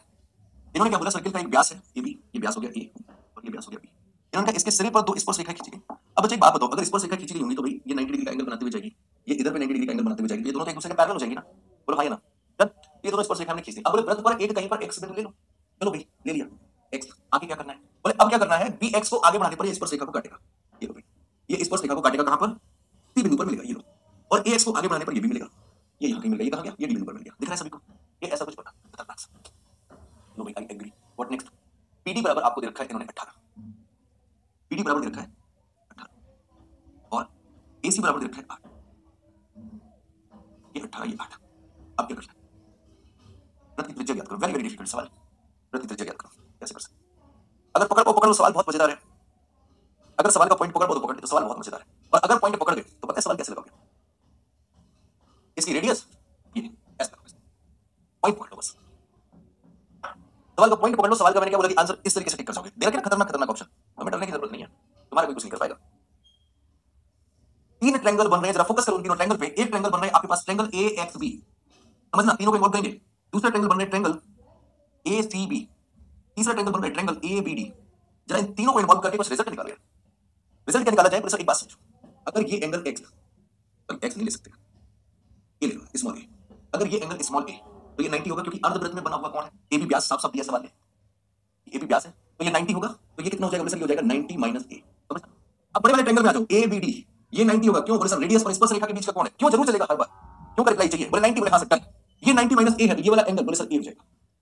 इसी तरीके से ये वाला एंगल भी 90 हो जाएगा, ये एंगल ए देखा तो इसका मतलब ये एंगल हो जाएगा 90 माइनस ए बोलो हाँ ना इसका पॉइंट क्या निकल के आया? तो सर पॉइंट ये निकल गया कि ट्रायंगल ए बी सी और triangle A B D similar है। करेक्ट अब जरा इनको सिमिलरिटी वाले फॉर्मेट में और तो बस काम खत्म वहीं पे। सिमिलरिटी वाले फॉर्मेट में अगर मैं रखने को बोलूँ तो आपको कैसा ट्रायंगल एबीसी पे नॉर्मल रख लो। एबीसी रख लिया सिमिलर ट्रायंगल अब एबीसी में ए 90 है, वहाँ पर बी 90 है तो बी एक बात बी है ए वाला मतलब बी बीडी ये है। ये सिमिलर हो गए? सिमिलरिटी के फॉर्मेट पे ये सिमिलर हो गए? अब क्या करना है? सर साइड का रेशियो ले लो ना। साइड का रेशियो उठा लेते हैं तो साइड का रेशियो उठाएँगे, हमारे पास कौन कौन सी साइड है? ए बी उठा यहाँ से। ए बी उठाइए अगर यहाँ से ए बी तो यहाँ से क्या लेना पड़ेगा बोले सर बीडी और यहाँ पर फिर से ए बी लेना है तो मतलब ए सी ले लो यहाँ से। ए सी और यहाँ पर क्या हो जाएगा? ए बी यही हो जाएगा। ये रेशियो आगे, अब अगर आप गौर से देखो तो आपको ये सारी साइड की वैल्यूज़ पता है। आपको ए बी मालूम नहीं है तो ए बी पता करेंगे। एसी की वैल्यू आपको दे रखी है आठ इक्वल टू बीडी की वैल्यू आपको दे रखी है अठारह पर ए बी पता करना है। तो यहाँ से आ जाएगा। A B square equal to अठारह अट्ठे एक सौ चवालीस। तो ए बी बराबर बारह, अगर डायमीटर बारह तो रेडियस छह सेंटीमीटर ये सवाल होता है। मज़ेदार सवाल है ये लिखा फिर समझना था। अगला सवाल देखते हैं नेक्स्ट क्वेश्चन त्रिभुज एबीसी के बारे में चर्चा की इन्होंने, अच्छी वाली। त्रिभुज एबीसी का क्षेत्रफल आपको कोई प्रॉब्लम रुक जाओ ओके चलते रहेगा क्या बैटरी हो गया? अच्छा इसमें सो कर रहा था ना सर बैटरी लो अच्छा होने वाली। ओके चलो भी बढ़िया। अभी ऑन रखा है। आगे। लेकिन ये रखा हुआ है यार। हाँ? हाँ फ्री से कोई प्रॉब्लम ओके परफेक्ट तो हमको ये सब कुछ सिखाओ ना। ये सच्ची बताना छुट्टी कर दूँगा कुछ दिन बाद क्योंकि तुम्हारा सब काम तो हम हैंडल कर लेंगे, है ना? ऐसा ना। तो अब सवाल इसको देखते हैं। ठीक है? मैंने आपको बोला कि त्रिभुज एबीसी का क्षेत्रफल 30 सेंटीमीटर डी और ईबीसी और एसी तीनों इस बात आपको बताया नहीं यार, ये का फेवरेट फिगर है। एबीसी हो गया 30 डी और ईबीसी का मध्य बिंदु ये बीसी का मध्य बिंदु डी एसी का मध्य बिंदु ई आपने क्या बोला, त्रिभुज बीडीई है हट, ऐसे कौन खेलता है। बीडीई ऐसा नहीं होगा ये नहीं चलेगा, ये तो कुछ गड़बड़ हो गया। बीडीई का एरिया ये तो नहीं निकाला जा सकता। पता कर सकते क्या? इन्होंने तो कुछ और ही पूछ दिया। इन्होंने तो कुछ और ही पूछ दिया। बीडीई का एरिया ये पूछ दिया। हम ये कैलकुलेट कर सकते हैं देखो समझो बात करें इन्होंने ये दे रखा आपको तीस कोशिश करके देखते निकाल सकते हैं ना नहीं तो फिर समझ लेंगे डायरेक्शन अगर ये तीस है तो ये हो जाएगा साढ़े सात बोलो फाइनल क्लियर ये हो जाएगा साढ़े सात अब अगर हम देखें तो ये दोनों ट्रेंगल दो समांतर भुजाओं के बीच में बने हुए हैं, इस तरीके से। मतलब इस ट्रेंगल की जो हाइट होगी वही इस ट्रेंगल की हाइट होगी मतलब दोनों की हाइट सेम लेकिन इसकी साइड वन है, इसका बेस वन है और इसका बेस टू तो ये दोनों ट्रेंगल वन और टू के रेशियो में जाएँगे। यस और नो तो अगर वन और टू के रेशियो में जाएँगे तो ये वाला साइड अगर जो बच रखा है अमाउंट अगर हम उसको तीस को बांटेंगे तो ये पंद्रह आ जाएगा। और ये वाला साढ़े सात आ जाएगा, बोलो हाँ ना। ट्रेंगल बी ई डी का एरिया साढ़े सात सेंटीमीटर क्लियर अच्छा सर बी डी ई कौन सा ट्रेंगल है? देख B D E triangle B D ठीक है? साढ़े सात। समझ गए ना कैसे साढ़े सात हुआ? और ये तो साढ़े सात कैसे हुआ? वन और टू वाला रेशियो ये तो हम लोग को रटा हुआ है। ये वाला साढ़े सात में कोई प्रॉब्लम नहीं आएगा किसी को। अब क्या हुआ? यहाँ पर यहाँ पर हमारे पास साढ़े बाईस सेंटीमीटर स्क्वायर बचा। इस साढ़े बाईस को कैसे ब्रेक किया? वो यहाँ पर आपको वो साढ़े बाईस ब्रेक किया वन क्योंकि ये दोनों ट्रायंगल की हाइट सेम है। बेस वन और टू होंगे just because of mid point clear है हर एक चीज़ के पीछे का वाई क्लियर होना चाहिए। एक प्रति चतुर्भुज एबीसीडी बजाओ इतने अपने को क्रम से पीक्यू आरएस पर अंत स्पर्श करता है। ये अंत स्पर्श करता है, फिर तो हमें पता है कि तुम क्या पूछने वाले हो। और अभी शायद हमने दो दिन पहले ही आपको ये सारी चीज़ें पढ़ाई हुई है ना? हमने कहा था ये सवाल जब भी आपसे पूछा जाएगा सेम फॉर्मेशन पे आएगा, कुछ भी चेंज नहीं कर पाएँगे क्योंकि चेंज करने के लिए कुछ होना चाहिए ना। इस तरीके का सवाल आएगा, चतुर्भुज कौन सा है? ए बी सी डी एक व्रत है जो चतुर्भुज की भुजाओं को अंत स्पर्श कर रहा है। ए बी को कहाँ पर कर रहा है? पी पर। क्यू आर और एस ये अंत स्पर्श कर रहा है। अब आपको रखा है इन्होंने कि बीपी बराबर चार। बीपी बराबर चार। सीडी बराबर सीडी बराबर छह। खुशी की बात है पूरा ये पूरा रखा है सीडी बराबर। बीसी बराबर सात। ये पूरा सात दे रखा है और कुछ रखा डीसी की लंबाई पूछी। डीसी, एक मिनट, रुको ना यार। सीडी दे रखा है तो डीसी पूछने का क्या मतलब है? सीडी छह तो डीसी भी तो छह होगी। कुछ और पूछा होगा इसमें है ना? हम काम करते हैं, सबका पार्ट निकालने की कोशिश करते हैं। देखो ये बाहरी बिंदु से की स्पर्श तो ये चार है तो ये चार हो जाएगा। पूरी सात की तो ये तीन हो जाएगा। अगर ये तीन है तो ये तीन हो जाएगा। पूरी छह तो ये तीन हो जाएगा। अब जब अगर ये तीन है तो ये भी तीन हो जाएगा। यहाँ तक हम कैलकुलेट कर सकते हैं। इसके अलावा हम और कोई और भी इन्फॉर्मेशन नहीं निकाल सकते। और इन्हीं में से आपसे कुछ ना कुछ उन्होंने पूछा। क्या पूछा? पीसी तो सामने है।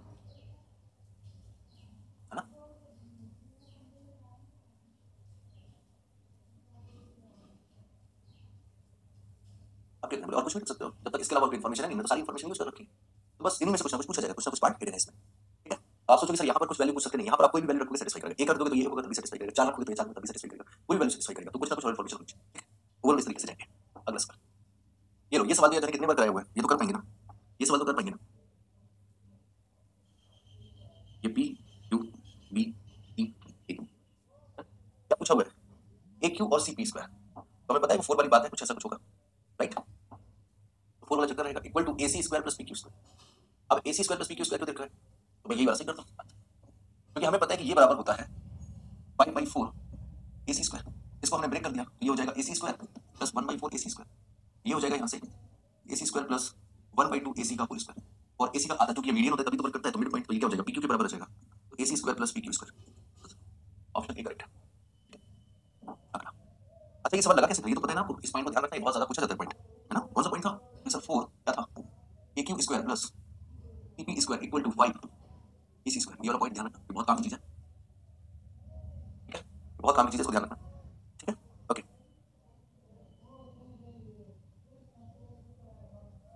हाँ तो तुम जो कह रहे हैं इस वाले सवाल में सर कैसे निकलेगा वही मैंने बताया डाटा इनसफिशिएंट है हमें ये भी पता नहीं लग रहा कि पूछा गया क्योंकि डीसी यहाँ पर लिखा डीसी दे रखा है आपको सीधी छह और यहाँ पर कोई भी वैल्यू अगर आप यहाँ पर पाँच रखोगे तो ये पाँच रखना पड़ेगा। तभी सेटिस्फाई होगा। अगर बीस रखोगे तो ये बीस रखना पड़ेगा। तभी सेटिस्फाई होगा। अगर नहीं सेटिस्फाई होगा। है ना? इसलिए यहाँ पर डाटा इनसफिशिएंट है। ओके ये हो गया। अब ये सवाल है। वृत्त एक चतुर्भुज एबीसीडी में अंकित किया गया, जो भुजा A B B C C D और डी को क्रमशः इतने पर टच कर रहे हैं। बी बराबर 90 डिग्री अब देखो, ये एक एडिशनल इन्फॉर्मेशन दी ना बी बराबर 90 डिग्री ऐसी कोई एक इन्फॉर्मेशन उसमें कम थी। इस वाले सवाल में भी देखना, वही फिगर बनेगा। इस वाले सवाल में भी वही फिगर बनेगा बट सॉल्व कैसे करना रहेगा, इसको सोचो। एक सर्कल हमने बनाया। ये हो गया। अब इसका नाम दे रखा है ए बी ई और डी आपको एक बात इन्होंने बोल रखी है कि जो बी है वो 90 डिग्री ये 90 डिग्री हो गया इतना। अब आगे क्या किया हाँ ए डी बराबर चौबीस। ए डी बराबर ये पूरा चौबीस दे रखा है। ए बी बराबर ये पूरा सत्ताईस दे रखा है। डी आर नहीं, ये कहीं कहीं कहाँ कहाँ रहा है? ये पी क्यू ये आर ये है। डी आर बराबर आपको रखा है ना? अगर छह दे रखा है तो अब तो पार्ट में बांट दोगे ना सबको। अब तो सबको बांट सकते हो अगर ये छह है तो ये छह है। अब अगर ये छह है तो ये अठारह हो जाएगा। ये अठारह तो ये अठारह हो जाएगा। ये नौ हो जाएगा। ये भी नौ हो जाएगा। यहाँ तक तो हमने बांट लिया। अब आपसे क्या पूछा? व्रत की परिधि बताइए कितनी व्रत की सर्कमफ्रेंस और सर्कमफ्रेंस कब तक नहीं बता सकते? सर्कमफ्रेंस कब तक नहीं बता सकते? बोले, जब तक त्रिज्या पता कैसे पता लगाओगे? त्रिज्या क्या है? त्रिज्या को पता लगाने का तरीका ये कि ये अगर सेंटर है तो सेंटर से केंद्र से इस पर से को मिलाएँगे तो 90 डिग्री इसको मिलाएँगे तो 90 डिग्री ये 90 दे रखा है तो ये भी 90 बोलो हाँ या ना। चार 90 आसपास की बुझाएँ 9 तो ये वर्ग बन जाएगा, त्रिज्या कितनी हो गई 9 अगर त्रिज्या 9 तो परिधि 2 पाई r 18 पाई मैंने कहा था एक एक इन्फॉर्मेशन ज़रूरी है। इसलिए इस सवाल में इन्फॉर्मेशन कम थी आंसर पर नहीं पहुँचे। इसमें एडिशनल इन्फॉर्मेशन एक ही इन्फॉर्मेशन एक्स्ट्रा है कि b बराबर दे रखा है। बात समझ में आई नहीं? डन निकाल लेना समझ में कैसे निकाल लिया चलो भाई, आगे बढ़ेंगे, अगला सवाल ये सवाल तो बहुत दिख रहा होगा सभी को। त्रिभुज में आपको दे रखा है कि CE perpendicular to AB CE perpendicular to AB ये आपको दे रखा है परपेंडिकुलर ठीक है? इसके अलावा दे रखा है 1 by 2 ACE is equal to 20 degree. 1 by 2 लिखा है? ACE ये इसका आधा दे रखा है. 20 है. तो बचा हुआ भी 20 होगा 1 by 2 ACE आधा ये ACE बोला हुआ है. आधा नहीं होना चाहिए. ACE बराबर देना चाहिए. आगे का काम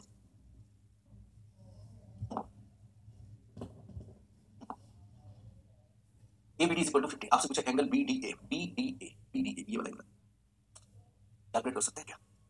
तो सर, अगर ये 50 है समझना समझना खत्म ये 90 हो जाएगा बोलो हाँ ये 50 है तो ये कितना हो जाएगा 40 अगर ये 90 है ये दिया गया ये 50 दे रखा है तो ये हो 40 तो अगर ये 40 हो गया तो ये भी 40 हो जाएगा ये 40 ये 20 दे रखा है तो पूछा गया एंगल 60 डिग्री खत्म आपको सिर्फ़ सोचना है सवाल में क्या करना है आंसर से 60 डिग्री क्लियर चलो अगला सवाल दो संकेंद्रीय वृत्तों की त्रिज्या 13 और 8 सेंटीमीटर बड़े वृत्त का व्यास है AB और छोटे वृत्त की स्पर्श रेखा है BD छोटे वृत्त की स्पर्श रेखा है तो छोटे वृत्त को बिंदु D पर स्पर्श कर लिया बड़े वृत्त को बिंदु E पर मिलती है A को D से मिलाया गया है तो AD की लंबाई आपसे आपके एग्ज़ाम में आया हुआ सवाल है दो संकेंद्रीय वृत्त है।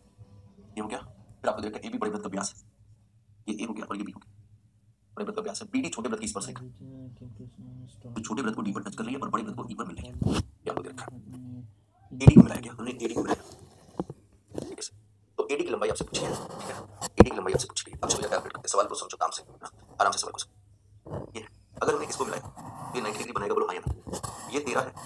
ये 8 है। छोटे वृत्त के 13 और 8 दे रखा है ठीक है समझना मेरी बात को और ये भी 13 हो जाएगी। तो ये कितनी हो जाएगी? छब्बीस अगली सोलह हो जाएगी। बात समझ में सोलह हो जाएगी। सिमिलर ट्रेंगल लग रहे ना?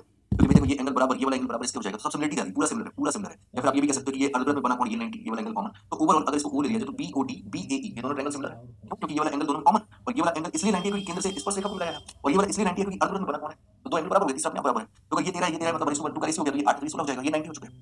तो अब हम क्या कर सकते हैं? अगर ये 8 है, ये 13 है तो 13 का वर्ग कितना हो गया? 169 इसमें से अगर हमने 64 को घटाया तो 105 आ जाएगा बोलो हाँ ना? तो रूट 105 तो ये वाली लाइन आ जाएगी रूट 105 उसी तरीके से ये वाली लाइन भी आ जाएगी रूट 105 अब हम सिर्फ़ ए ई डी को अलग निकालते हैं। हमने सिर्फ़ ए ई डी को अलग निकाल दिया। अगर हमने ए ई डी को अलग निकाल लिया तो ये कुछ इस तरीके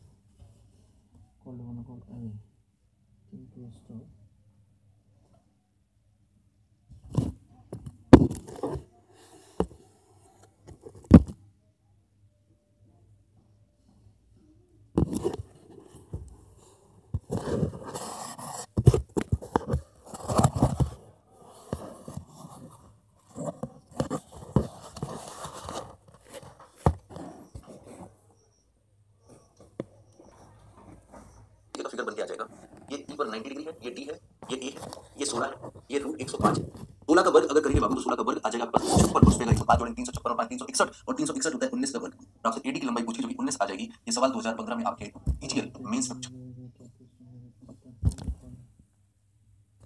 पैंतीस सवाल। क्या ये तो दे रखी और हमने का, आपको एक सीन सिखाया कि जब भी सर्कल के चारों तरफ़ हो तो अपोजिट भुजाओं का सम सेम रहता है। सिखाया ना आपको? अब ये ए डी और बी सी हो जाएगा तो आपको पता है कि A D plus B C is equal to A B plus C D रखो ए बी कितना है बोले सर ये हो गया two X plus B C कितना है?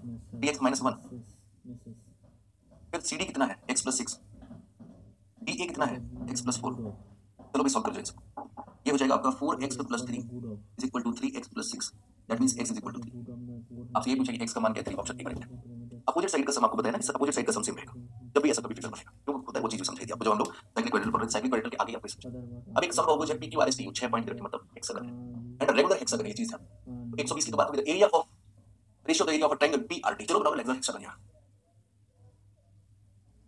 कौन सा P Q R S R S P Q अब आपको इसके बाद में आपको रखा है कि पी आर टी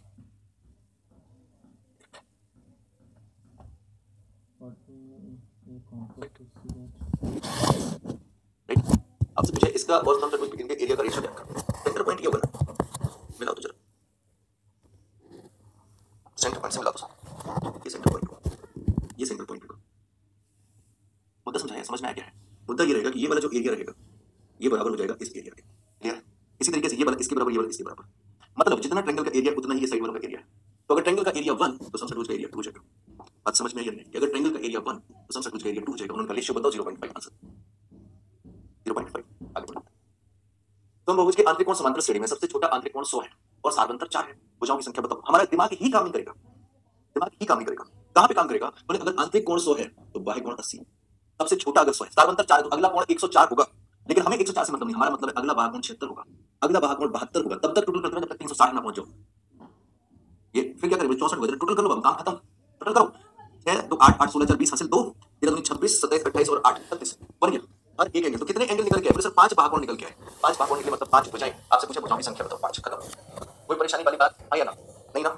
इसीलिए आपको सिखाया था कि एक्सटीरियर एंगल पे काम करना सीख लेना मज़ा आएगा करके, है ना? और अगर इसको इंटीरियर एंगल से लगाओगे एपी लगाते फिरोगे, परेशान हो सकते तो किस तरीके की अप्रोच लगानी ये चीज़ मैटर करेगी। बस पच्चीस सवाल थे।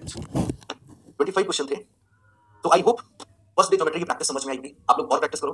कल भी आपकी ज्योमेट्रिक प्रैक्टिस चलेगी और इसी तरीके से क्लासेस आगे भी कंटिन्यू रहेगी। ओके आज का सेशन हम लोग यहीं पर ओवर कर। रहे हैं कल आपसे मुलाकात करेंगे। सेम टाइम शाम को पाँच बजे। आपकी क्लास की टाइमिंग जो है वो पाँच बजे कर दी गई है। ठीक है? शाम को रात में यूट्यूब पर क्लास लेता हूँ इसलिए। और जो क्लास कोर्स है उसकी टाइमिंग दोपहर को एक बजे एक बजे पाँच बजे आठ तीन स्लॉट आप लोगों के लिए बना के रखते हैं इसके अलावा भी अगर आपको कभी कोई टाइम रिक्वायरमेंट होगी तो हम लोग टाइम क्लियर करते हैं। तो फाइनली सेशन ओवर कर रहे आपसे मुलाकात करेंगे ज्योमेट्री की एक नई सीट, मज़ेदार क्वेश्चन के साथ में आप लोगों को और कोई भी आपको अगर प्रॉब्लम हो, मेरा नंबर आप सभी के पास है कॉल करो टीचर समझ के कॉल कर सकते हो टीचर समझ के कॉल कर लेना, बड़ा भाई समझ के कॉल कर सकते हो, बड़ा भाई समझ जैसे भी जो भी समझ सकते हो, अगर परेशानी में हो